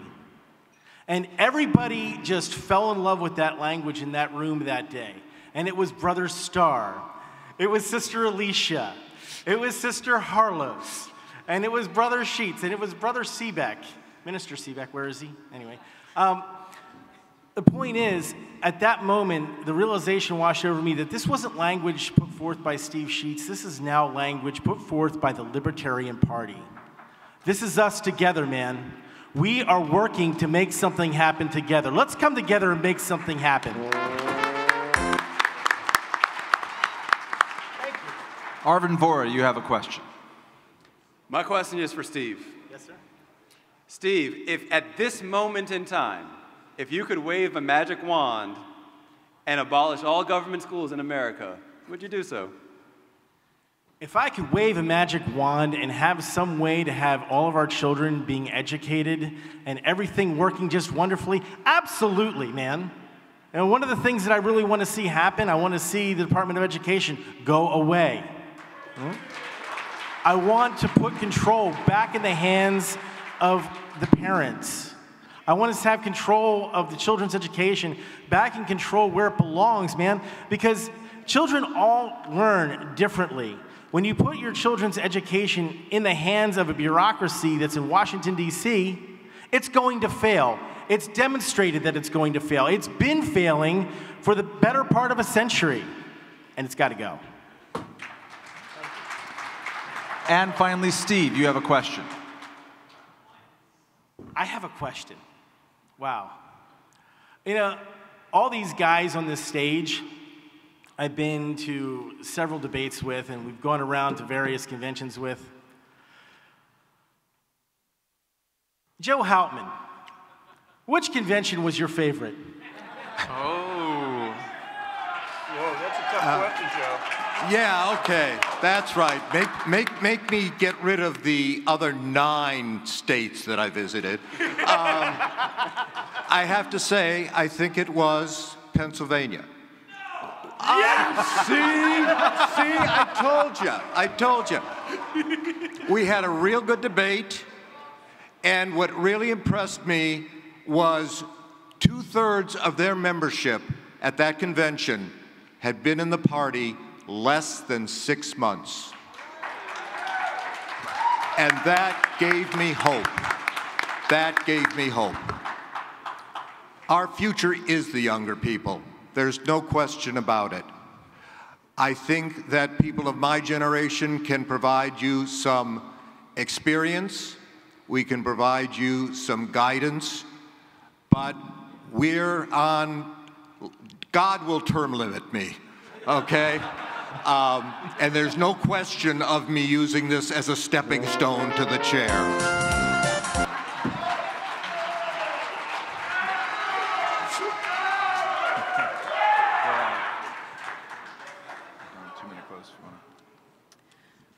We now move on to our two minute close. Uh, you have two minutes and you cannot rebut during the close, but you can use your cards to extend your time.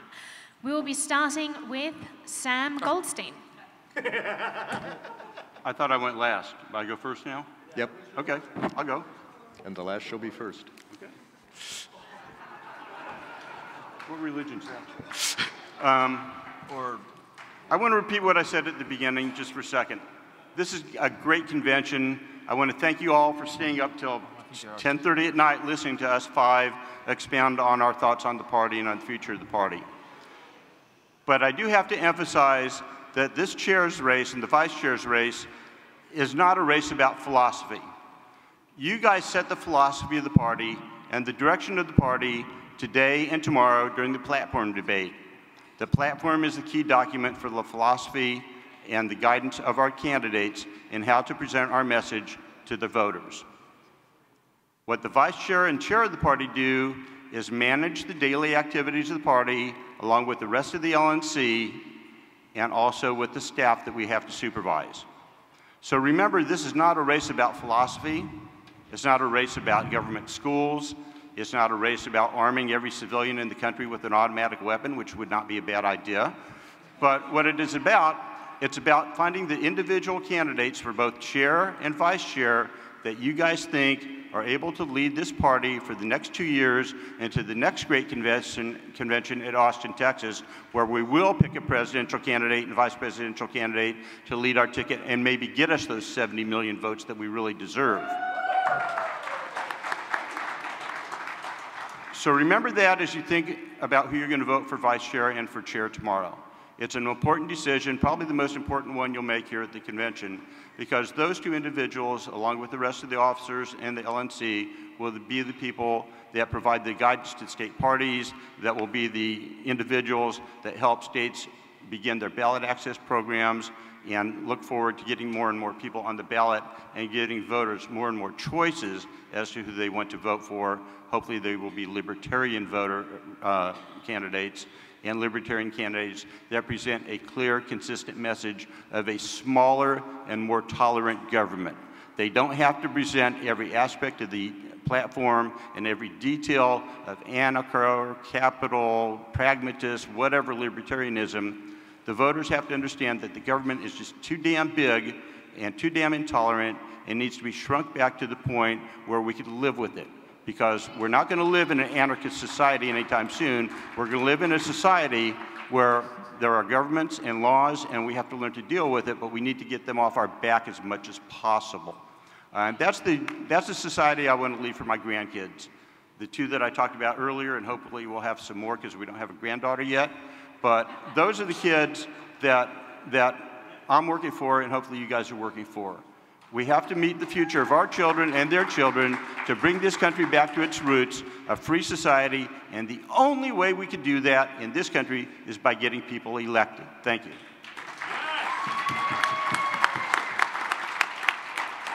Alex Merced.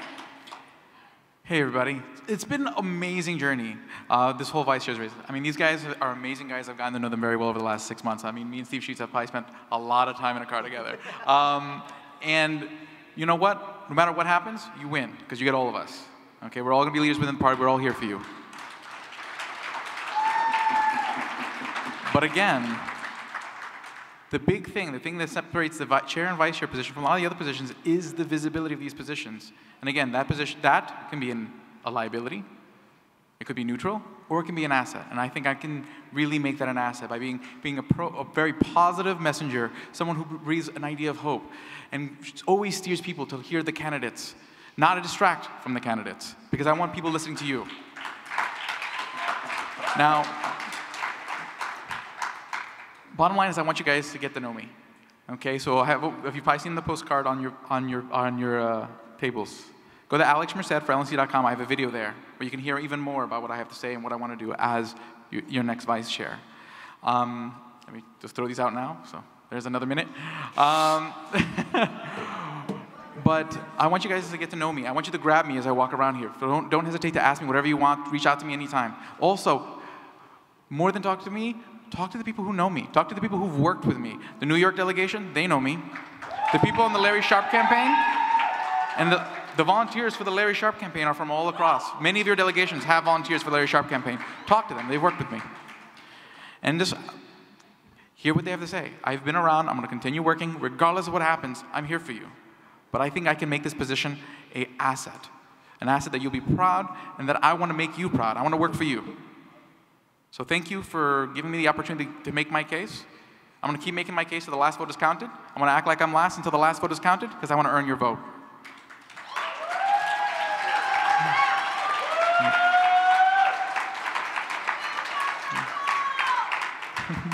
I want to read something to you guys. This is something that's coming in on Facebook, came in last night. It's publicly available. You can look at a link on my page. The LP was founded to tell people uncomfortable truths. Sometimes you can tell them with a smile, and sometimes you tell them in a few words as possible with a Clint Eastwood grimace. I have waited to see if Arvin blinked or turned timid after a mild chastising by ultra civilitarians. He hasn't. I urge the delegates to re elect Arvin Vohra to keep a burr under the saddle of the soft soap peddlers. That was written by D. Frank Robertson, the co founder of the Libertarian Party. And right now, the Libertarian Party is absolutely at a crossroads. And if you look at these two, at, the, at where these two roads lead, I'll tell you exactly where they lead. Road number one leads somewhere like this We've taken the presidency, we've taken the House of Representatives, we've taken the Senate. And now we can't lose them. We got there by using manipulative and dishonest messaging. We got there by pandering. And if we start abolishing government schools, if we start legalizing cocaine, if we start shutting down the military welfare complex, we're going to lose. It's better that someone like us is there rather than someone like them is there. That's path number one. Path number two is very different. Path number two is us standing there and saying this We have won the presidency, we have won the Senate, we have won the House. We told them that we were going to legalize every single drug. We told them we were going to abolish government schools. We said we would end the income tax and not replace with something worse, but end other taxes as well.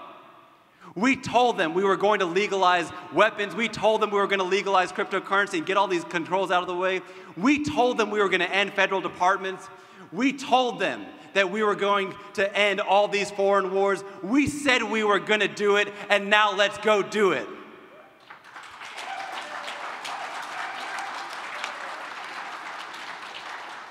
If you elect me vice chair, we are going to be squarely on that second path. I will not stand by and let us pander down that, that first path that leads to nothing but maybe a name change. I want to see meaningful change. I want to see massive reductions in government, and working together, we can and we will make it happen.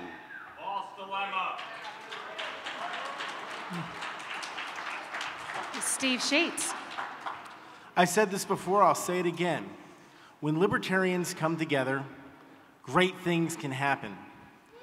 You know, I've, I've been an organizer and I've been fortunate enough to have people come out of varying stripes and varying political philosophies, and we've all worked together to make things happen. You know, we have this huge tyrannical government that we're all fighting against. But there's nothing, nothing that's going to happen unless we actually put down our egos, put down our philosophies, and work together to make something happen. Right now, we've been divided over whose brand of libertarianism is the best brand of libertarianism.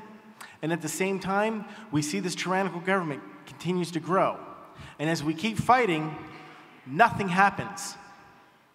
I, for one, am sick and tired of nothing happening.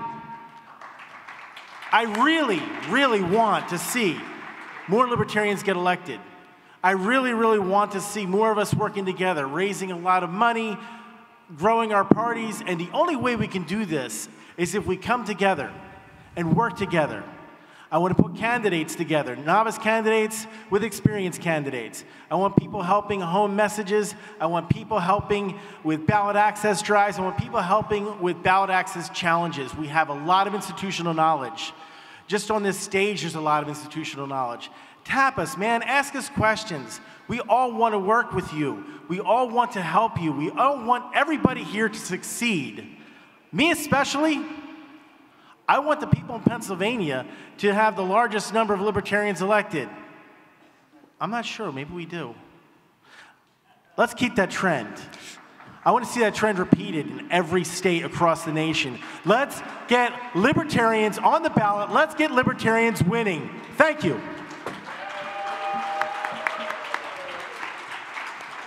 Joe Hauptman. JFK said, Those who wish to change reality must first be willing to face it.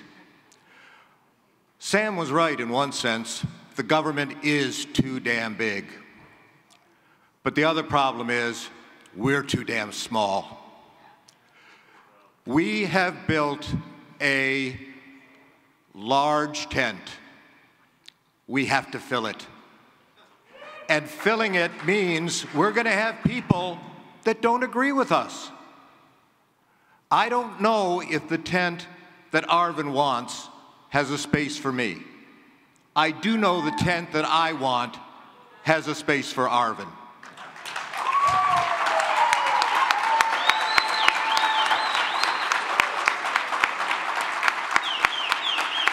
We believe, we believe in a marketplace, the marketplace of ideas. Let the party be that marketplace. Let the states be that marketplace. Those of you who feel that we must be the pure and the powerful, show us. Show me I'm wrong. I'd love to be wrong. Those who feel that the people need to be led more slowly to build up their freedom muscles, let's show them that it can be done. Yes, it's dangerous. Life is a slippery slope. Okay, we cannot create Libertopia overnight. And guess what, folks? There are people out there who are going to work against us the entire way. We will never actually win. How's that for depressing? but what it boils down to is it's not a sprint, it's not a marathon, it's a relay of marathons. And some of the members of our team haven't even been born yet. Ladies and gentlemen, give your candidates an enthusiastic round of applause. Vice Chair, Alex Merced, Arvin Vohra, Steve Sheets, Joe Hauptman, Sam Goldstein. And give yourselves a round of applause. You've been here all damn day. Thank you. Good night. See you tomorrow.